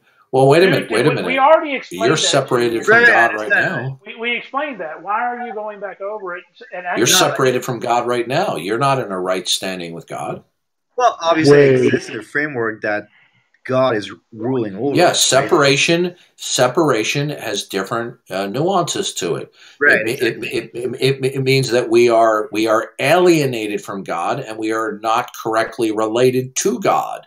The moment Adam and Eve um, ate of the tree of the knowledge of evil, uh, knowledge of good and evil, they became separated from God. Their their feet may have been on the same coordinates on the planet, but they were now separated from God. But in the final judgment, it says God is going to take all of those uh, people who were unrepentant throughout human history, and they are going to be cast. They are going to be placed into whatever constitutes the lake of fire, which itself collectively is is uh, characterized as being separated from God. They will be Oh, When we say lake of fire, I don't, I don't, uh, maybe I don't think Darth believes this, but we don't conceptualize it as an actual lake.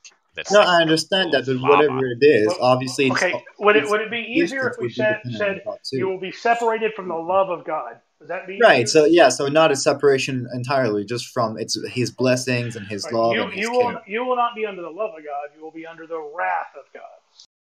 It's either one or the other. Like there's no middle ground. For me, it's not even about believing in it. It's just the concept of money. That's Money? usually what I used to. Well, religion takes in money, doesn't it? Uh, you're going off topic here. Yeah, it sounds a It's bit off just, it's topic. just how I view it. It's not necessarily dunking on. It's just Hey, hot chocolate. Are you a, are you an atheist? I'm not going to answer that question because I don't want to debate you. Do you you don't want to incriminate yourself? I don't want to debate you. Okay. Well, then then why are you making assertions? I'm not making assertions. Yes, Yeah. you did. You made a Uh, comment about made an uh, religion and Why would I money. make an assertion? Even the atheists are like, yeah, you made an assertion. Did you did you make an assertion about I mean, just because I'm an atheist doesn't mean I can't be intellectually say I honest. made an on. assertion, but I'm Yeah, One at a I'm time, hot chocolate. Hot chocolate. Are you making an assertion? No, I'm stating my view. Okay, hot chocolate. If you're going to be that stupid, we'll put duct tape on your mouth, okay? That's an Okay, assertion. That's. Stating your view is I, making I don't want to debate you, Dareth. I Okay. Hey, to Darth, you. are, are you done with me? Because I don't want to take up any more of your time. Hello? Give me a second. Give him a, give him a second. He's furiously typing right now. I would have questions about how the Quran. No, I uh, just had to put a piece of duct tape on hot chocolate's mouth because he's stuck on stupid. Yeah. Hey Darth, uh, another question. Now that we're moving on, uh, does repentance necessitate like sacramentation? Wait, are we moving on? yes, we are. Okay, uh, Does- thanks, does- Darth. Uh, like, thank Okay. you for your time and whatnot. Does So, uh, what, David? I'll see you around. Uh, yeah. Does uh, repentance necessitate sacramentation? Is it necessary that we like uh, perform some sacrament in order to get repentance from God? Um, when you say sacramentation, do you mean that the sacraments are in some sense meritorious, a meritorious means in order to receive Yep. grace? Uh, yeah. Like I essentially in the No, tradition. the, the answer is the answer is no. All right. Uh, for example, baptism is mandated, but it doesn't it doesn't bring grace. It's just an outward symbol. that's The- right. rational. So ultimately, Yeah, the all listen to me. All of the grace of God that is necessary for the establishment of the forgiveness of sins is granted when one is genuinely repentant and places their faith in Christ as Lord and Savior. Not a result of sacerdotalism or ritualism or faithfulness.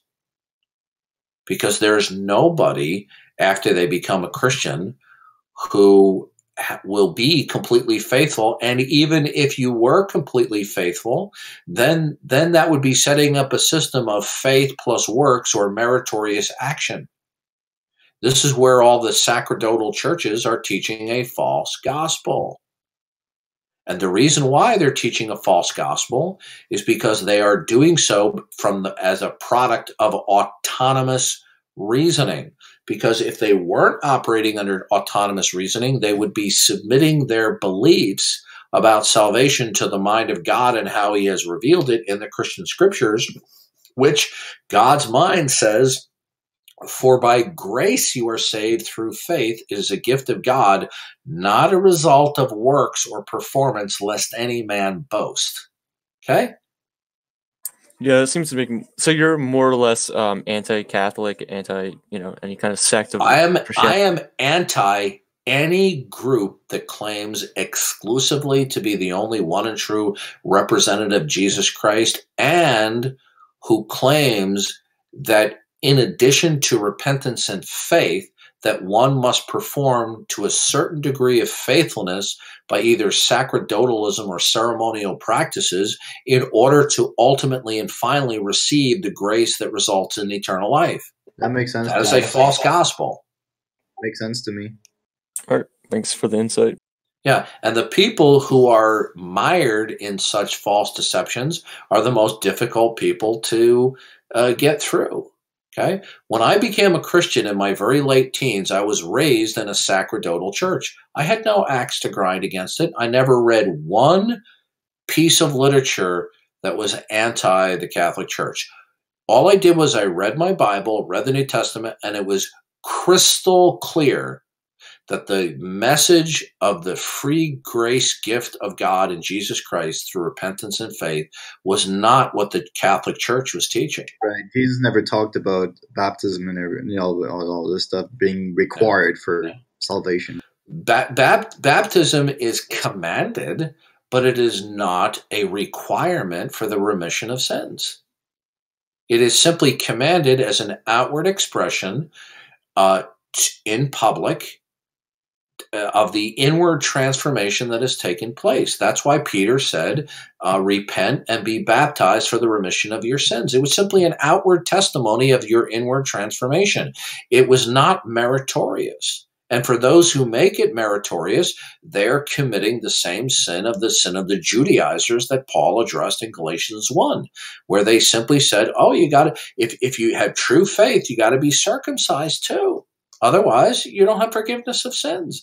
And Paul said that that was a, a, a damnable demonic gospel. Darth, wasn't there a part in the Bible where someone specifically asked Jesus what is required to be saved, and he answered that clearly? Yeah, yeah, that was a rich young ruler who was trusting not only in his wealth but in his own personal righteousness. Right. And what Jesus was trying to get him to do was to recognize his own unrighteousness. The path to salvation is by recognizing that you're doomed first. I think he told him to keep to the commandments and also to give to the poor. Do you know do you know why he did that? Yeah, because having all this money while leaving others in no, suffering was why did he what did what okay. Many times Jesus didn't give a, a, direct answer to people who are disin, who are disingenuous. He wasn't sincere when he came. He simply turned to him. He says, "Really? What must I do to inherit eternal?" He says, "What does the law say?" He goes, "Oh, I've kept all of these laws since my youth." That was a lie. Jesus knew it, and he knew it. And Jesus was simply exposing his false belief. And he says, Oh, okay, you've kept that? He goes, Wait, how did he do that? Sell everything you have and come and follow me. Wait, Darth, here's, here's, this wait, was wait, not wait, a universe. Listen, listen, this is what he also got to. He understood before this man walked up, because he was he was God, right? He understood that this young man's God was his money. He didn't challenge him on the law. He said, Oh, great.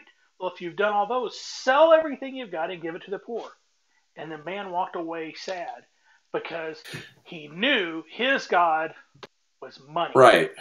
See, Jesus said at one time, he said, it's easier for a camel to go through an eye of a needle than for a rich man to inherit uh, the kingdom of heaven. Now, the idea of richness is not just simply possessions. Right. It's not. There are people. There are people who think that they are have they are. There are people who think that they are not destitute before God. Okay. Um, when, when people have a lot of wealth, they um, it's your attitude toward the possessions that that that you have. Imagine Bill Gates goes to the doctor and the doctor says to him, "Listen, we've just did a scan on your body. You have stage 5 cancer. You have 1 week to live." Do you think his attitude toward the stuff that he has is going to change? Uh, being perhaps, rich is being rich is not just simply a merely a focus on lots of possessions that you have a lot more than other people do. I agree with that. Being being rich means that you as you stand before God as creator that you are not destitute.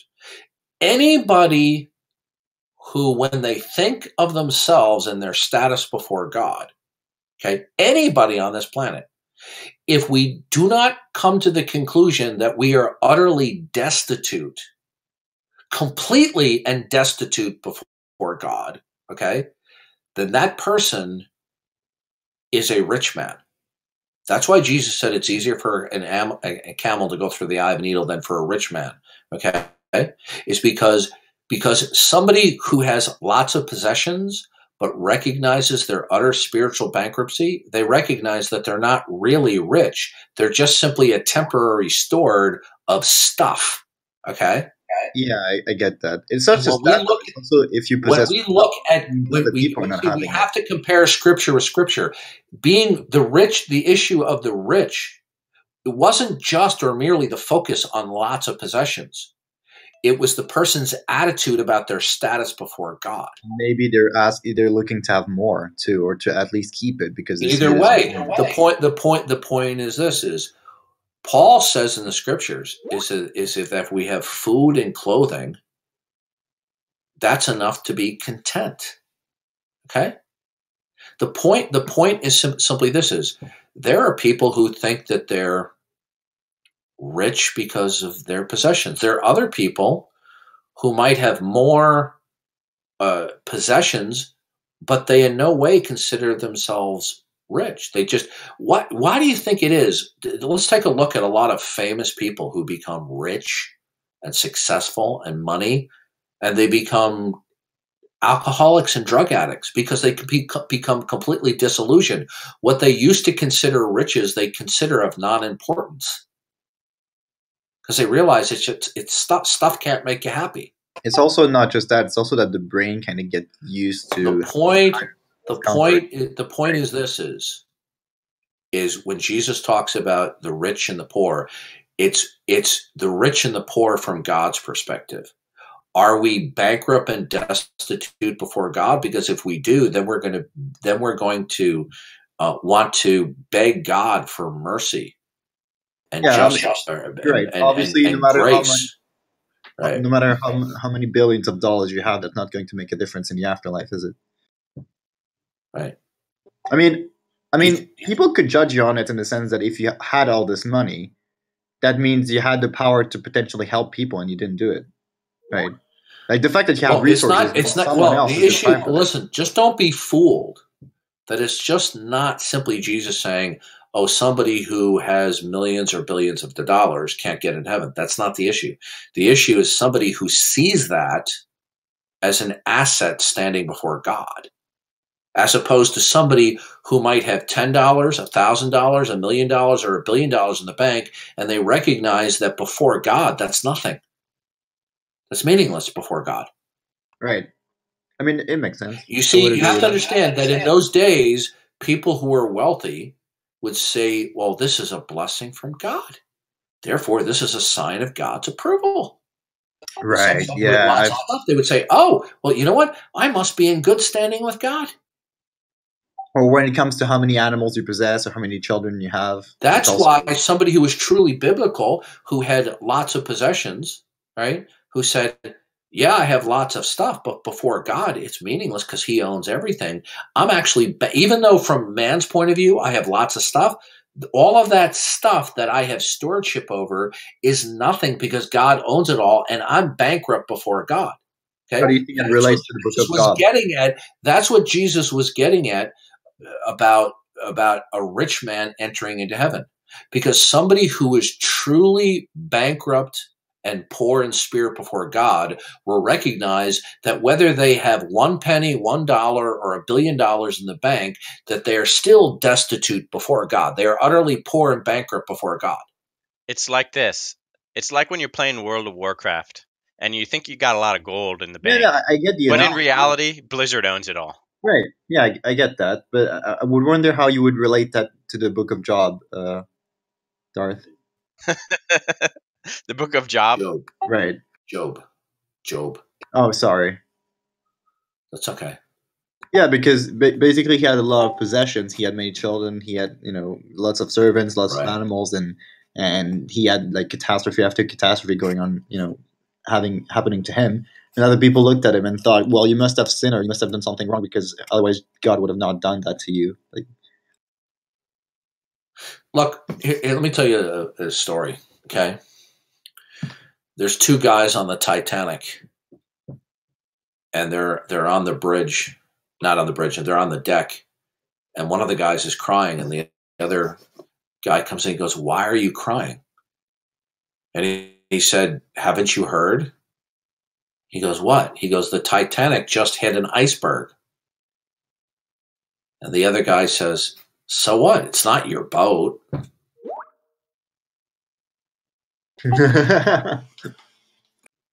What do you care? It's not your boat. Imagine, imagine somebody who has a. Imagine somebody, and I'm sure that there are instances of this who are millionaires or billionaires, and you have a dying child that you love. And you say, "I know your child's dying, but you're rich." They're going to want to smack you in the face because at that moment, their realization of their child's condition, that their child is dying, okay they're going to count all the stuff that they have or stewardship over is nothing Yeah, because it doesn't solve the problem. child. that's the point of when jesus says it's easier for a camel to go through an eye of a needle than for a rich man in other words we always have to evaluate who we are where we are what we are in light of our relationship with god. Didn't the Quran because if we if if if we don't if we don't do that then any analysis of our status or possessions will always be a miscalculation and we will conclude that we're rich when we're destitute. Okay? And so this is why they were shocked. They say well then then how could how can uh, they, they said if that be the case how can anyone be saved and jesus says all possibility resides in God. In other words, we have to recognize our destitution in every area of existence and that we depend upon God for the meaningfulness of everything. This is why I use the line of apologetics that I do with these unbelievers, because the moment that they do not affirm that the richness of knowledge and wisdom all reside in God through Jesus Christ, then I know already that they are completely bankrupt and destitute in terms of intelligibility and meaning. And then I just simply expose it. I lay open to them. They've got nothing. I have a question though. Sure. Don't you think wisdom can also help someone be a better person? Wisdom is seeing life from God's point of view. Hmm. Oh yeah, if you define it this way, and then yeah, never mind. then. Yes. Yeah, I don't know. When it comes to what I'm trying to what I'm trying to show them, what I'm trying to show unbelievers, is while they will not affirm that God is the ground of all being, that they claim that they can get along with God. I want to show them that they are utterly destitute in terms of anything. The moment you do not affirm the God of the Bible as he has revealed himself throughout the course of history, that's when everything collapses. In other words, you will not even be able to uh, talk about politics or ethics. See, they think they can, but they can't. Why do you think it is that the overwhelming majority of atheists and agnostics that I interact with that they quickly become argumentative and deceitful and disingenuous? Because there's nowhere for them to turn. So you see, you, so, listen, there's a, there's an atheist out there named T Jump, and he says there's no reason to believe in God because you see, uh, I can equally explain anything from a materialistic standpoint. Uh, and when I debated him, I quickly showed him the bankruptcy of such an uh, utter bankruptcy of such a statement. And I said, "Oh, you don't have a good reason to believe in God?" I said, "So you're presupposing that the preconditions of reason exist?" And he goes, "Yes." I said, "Good. Can you tell me?" I said, "What is what what is it that's ultimate?" Do you know what this clown's answer was? This this arrogant, haughty guy who thinks he's a philosophical genius. He says, he says, he says, what is ultimate is reality. I said, but wait a minute, is reality the set of all entities? He said, yes. I said, but some of those things are not eternal. I said, can you tell me what is the property and attributes of that which is ultimate? You know what this clown said? He goes, existence. All he was simply spewing was nonsense. He was bankrupt when it came to explaining anything in existence. Yet he wants to maintain that he doesn't have a good reason to believe in God, but that he has a good reason to explain how his world provides for reason. But when I question him about it, all he could sit there and go is existence. I mean, it was laughable. Yeah, it's kind of circular. It's like an infinite regress issue, isn't it? The reason why they don't take what I'm saying seriously or any other biblical apologist is because they refuse to be introspective and to realize that their position of autonomous reasoning doesn't go anywhere. It's it's it's it's it's vacuous. There's there's nothing. It's vaporware. They'll say, "Well, I have a brain." Well, wait a minute what exists that secures brainness that you want to tell me about? If it's if it's not God, what what provides for the intelligibility and actuality of brainness? Is it a world of chance, or an, a world that's not chance? Oh, well, it's a world of not chance. Oh, okay, good. Tell me, tell me, what is it that secures brainness? Is it causality and laws of nature? Oh, yeah, yeah, yeah. Oh, okay. Where, where, where are these laws? What, what, what is securing laws of nature? Are the laws of nature static and ultimate and absolute in of themselves? I honestly don't know. Well, neither do they. And so what they want to just say is just I mean, you can, you can include me in that since you know I'm not convinced of the existence of a god. So you can you can, you can include me. Well, the, the point the point is when you when you say I'm not convinced, such a statement presupposes the falsity of God. But if you presuppose the falsity of God, then your position entails the falsity of God. But the falsity of God cannot be sustained. It it cannot be defended. It's a bankrupt. It is a bankrupt position because how do you establish the falsity of God? By what means? Well, I didn't establish a falsity of. No, God. your position.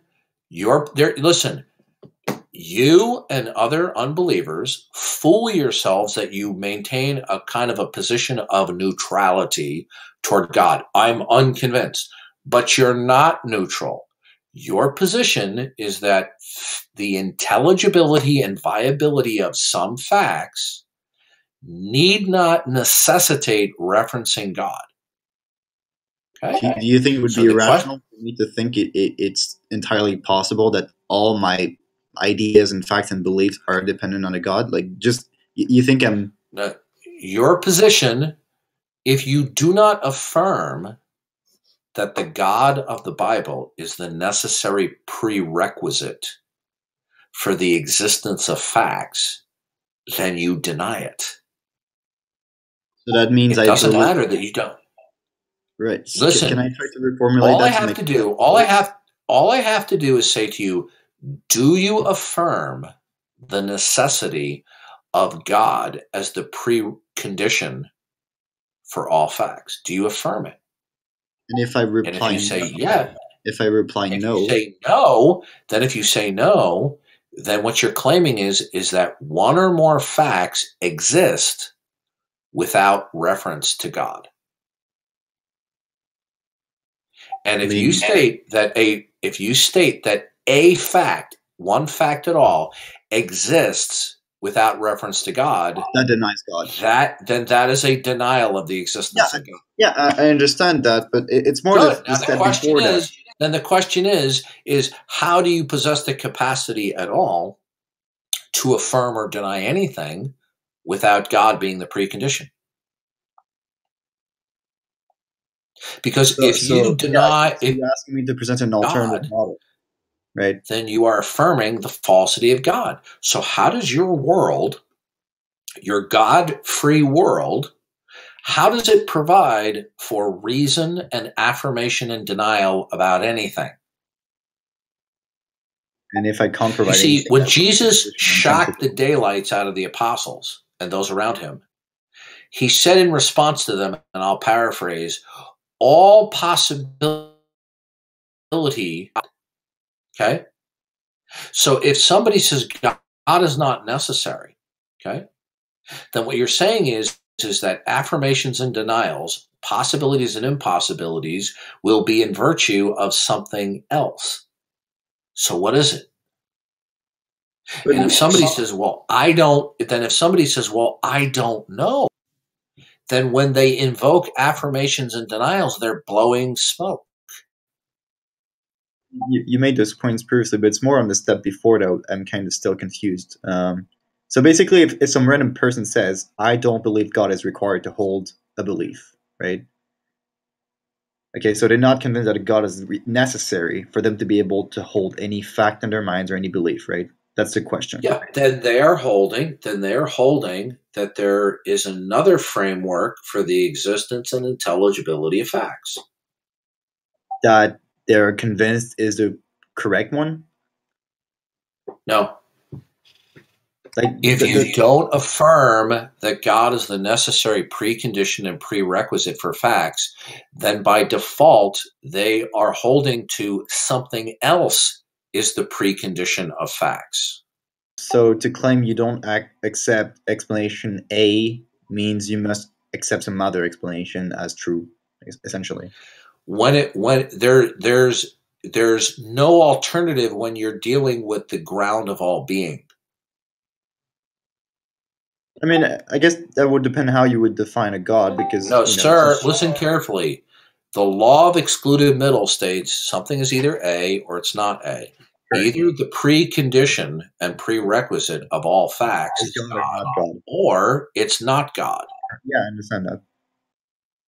So if somebody does not affirm that God is the precondition of all facts, then by default, they are implicitly asserting that not God is the precondition of all facts. Can I try to turn that around to, to see what? Do what you accept my last statement? Um, I would. I, I would like to ask your question to have to have a better. Do you understanding of it. accept my last statement? I can't tell you if I accept it or not yet because I want If to. somebody does not affirm that God is the necessary precondition of all facts, You're saying that this implies by they accept some- default and implication, they will be affirming that not God is the precondition of any facts they invoke. Do you think it would be a false equivalence if I bring up some kind of guilty, not guilty, you know, example? No, that's a category error because that's a though that would be a high that would be a dependency state. It's not dealing with the ground of all being. Can I ask you just a simple question? Listen to me. Listen to me. If somebody says, "I do not affirm that God is the precondition of all facts," then what they're saying is the fact that they exist and that they can reason and affirm things is in virtue of something else. Because you see, there's no middle ground for uh, facts. A fact either derives from God or it does not.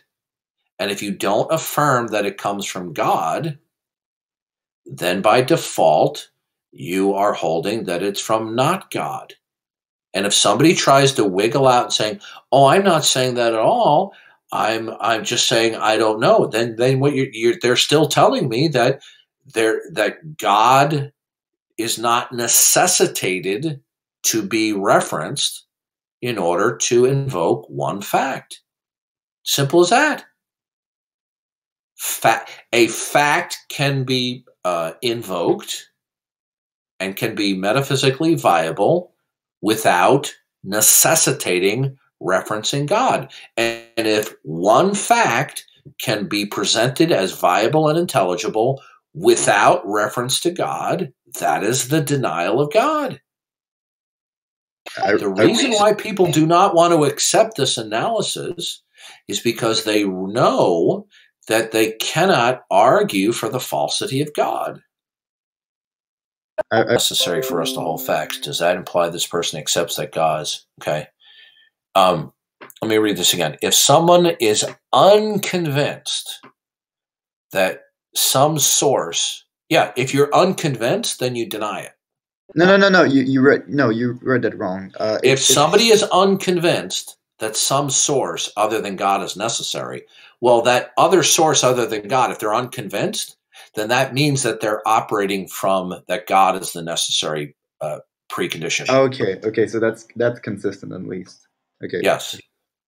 Okay, so yeah, I, w- I wanted to make sure that. You see, people, one thing people want to get through their minds is unbelievers desperately want to maintain verbally and to themselves that they're somehow and in some way being neutral about God. This is false. I don't think I'm neutral. I won't. I won't advertise myself as neutral. Good. Then your position is. Then your position is either your position is you affirm God exists or you deny God exists. Well, it's not necessarily in such an absolute way, but for example, I would be less convinced that the Christian God is. Listen to me. Listen to me. Do you affirm the necessity of referencing God for any fact? I mean, you know my answer, right? What is it? Well, it's a no. Okay. Now, that entails that not God is therefore the ground upon which you invoke facts.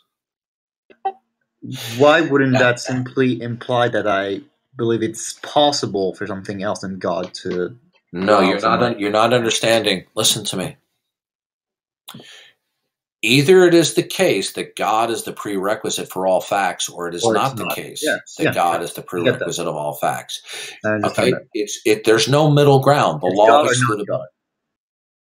Okay, now if you if you say that it is not the case, then God, you are affirming God does not exist. I'm not saying it's not the case. I'm just saying I'm not convinced it is the case.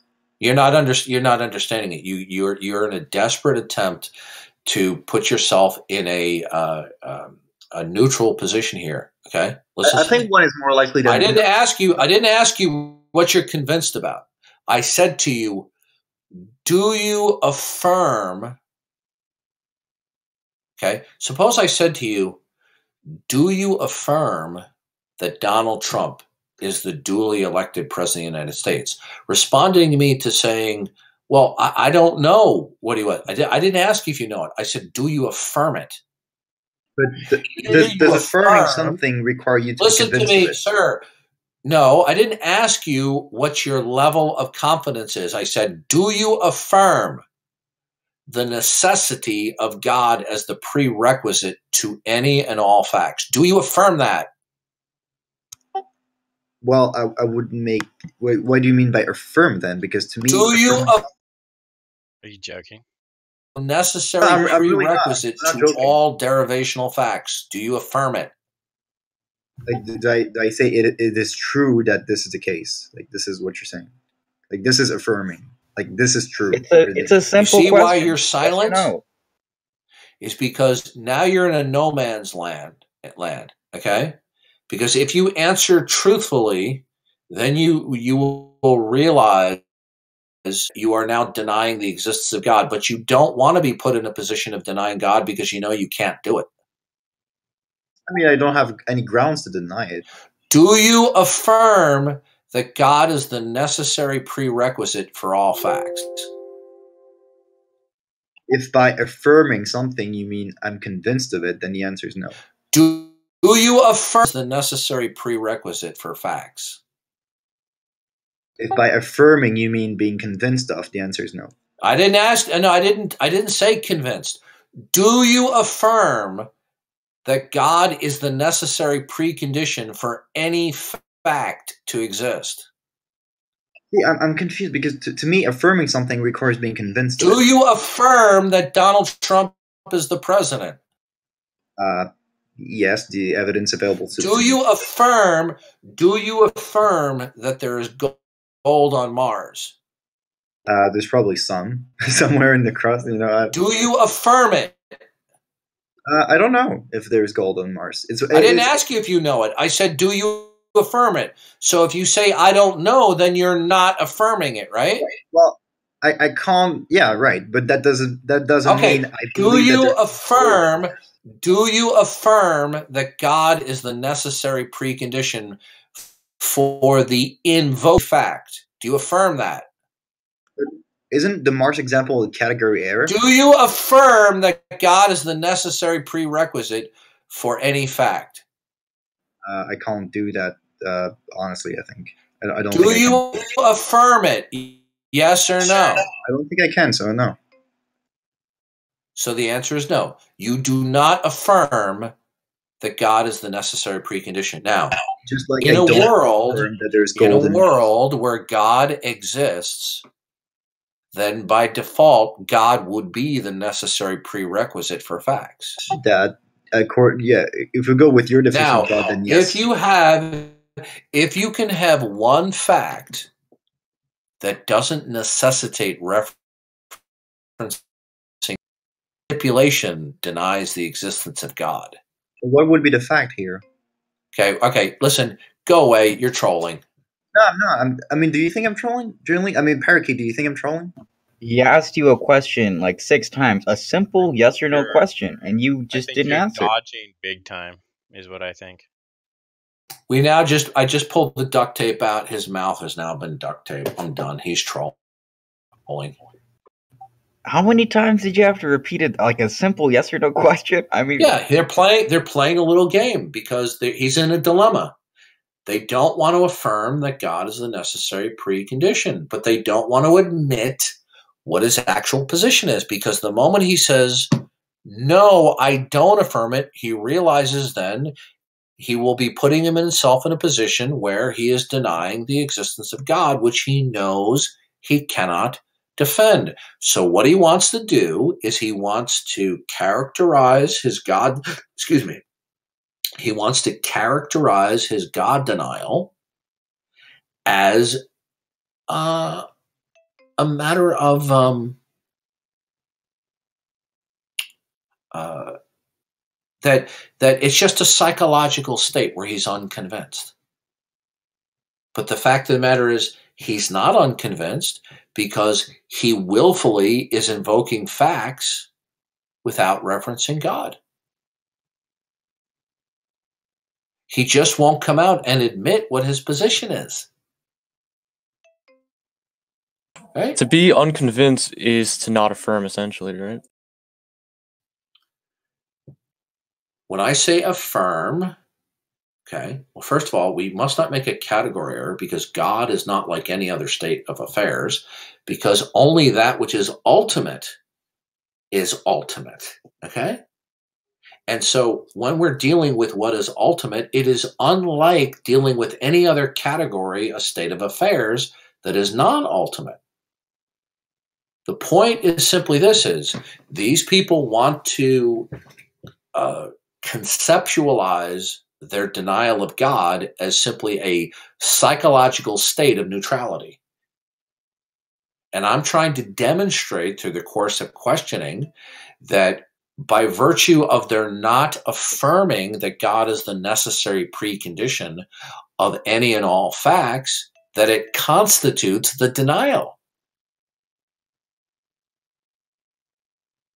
Because remember, we're not talking about God as simply an unembodied mind that has superpowers, uh, who who is more uh, powerful than any other creature. What we're saying is God is the creator and the ground of all being and the prerequisite to all facts. Either either you affirm it or you don't. And if you don't affirm it, then some facts don't necessitate referencing God. And if a fact does not necessitate referencing God as the precondition of that fact, then from that it follows God does not exist. But they don't want their position to entail they're denying God. They want to deny God, but they want to dress up in drag. Okay? It's like these these drag queens. They want to present their denial of God as just as neutrality. But we cannot be neutral about whether the prerequisite of all facts is God or not God.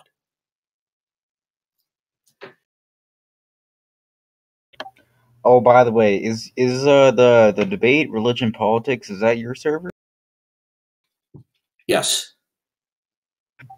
Are you are you on there often, or is it just is it just here? I haven't been on.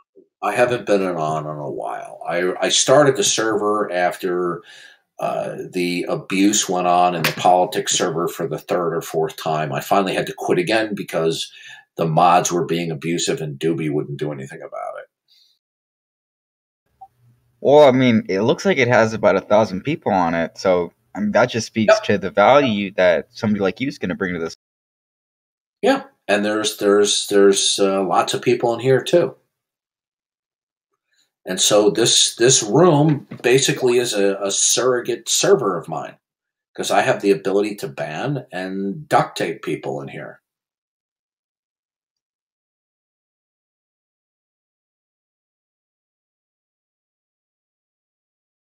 Anyway, I gotta run. I'll be on later.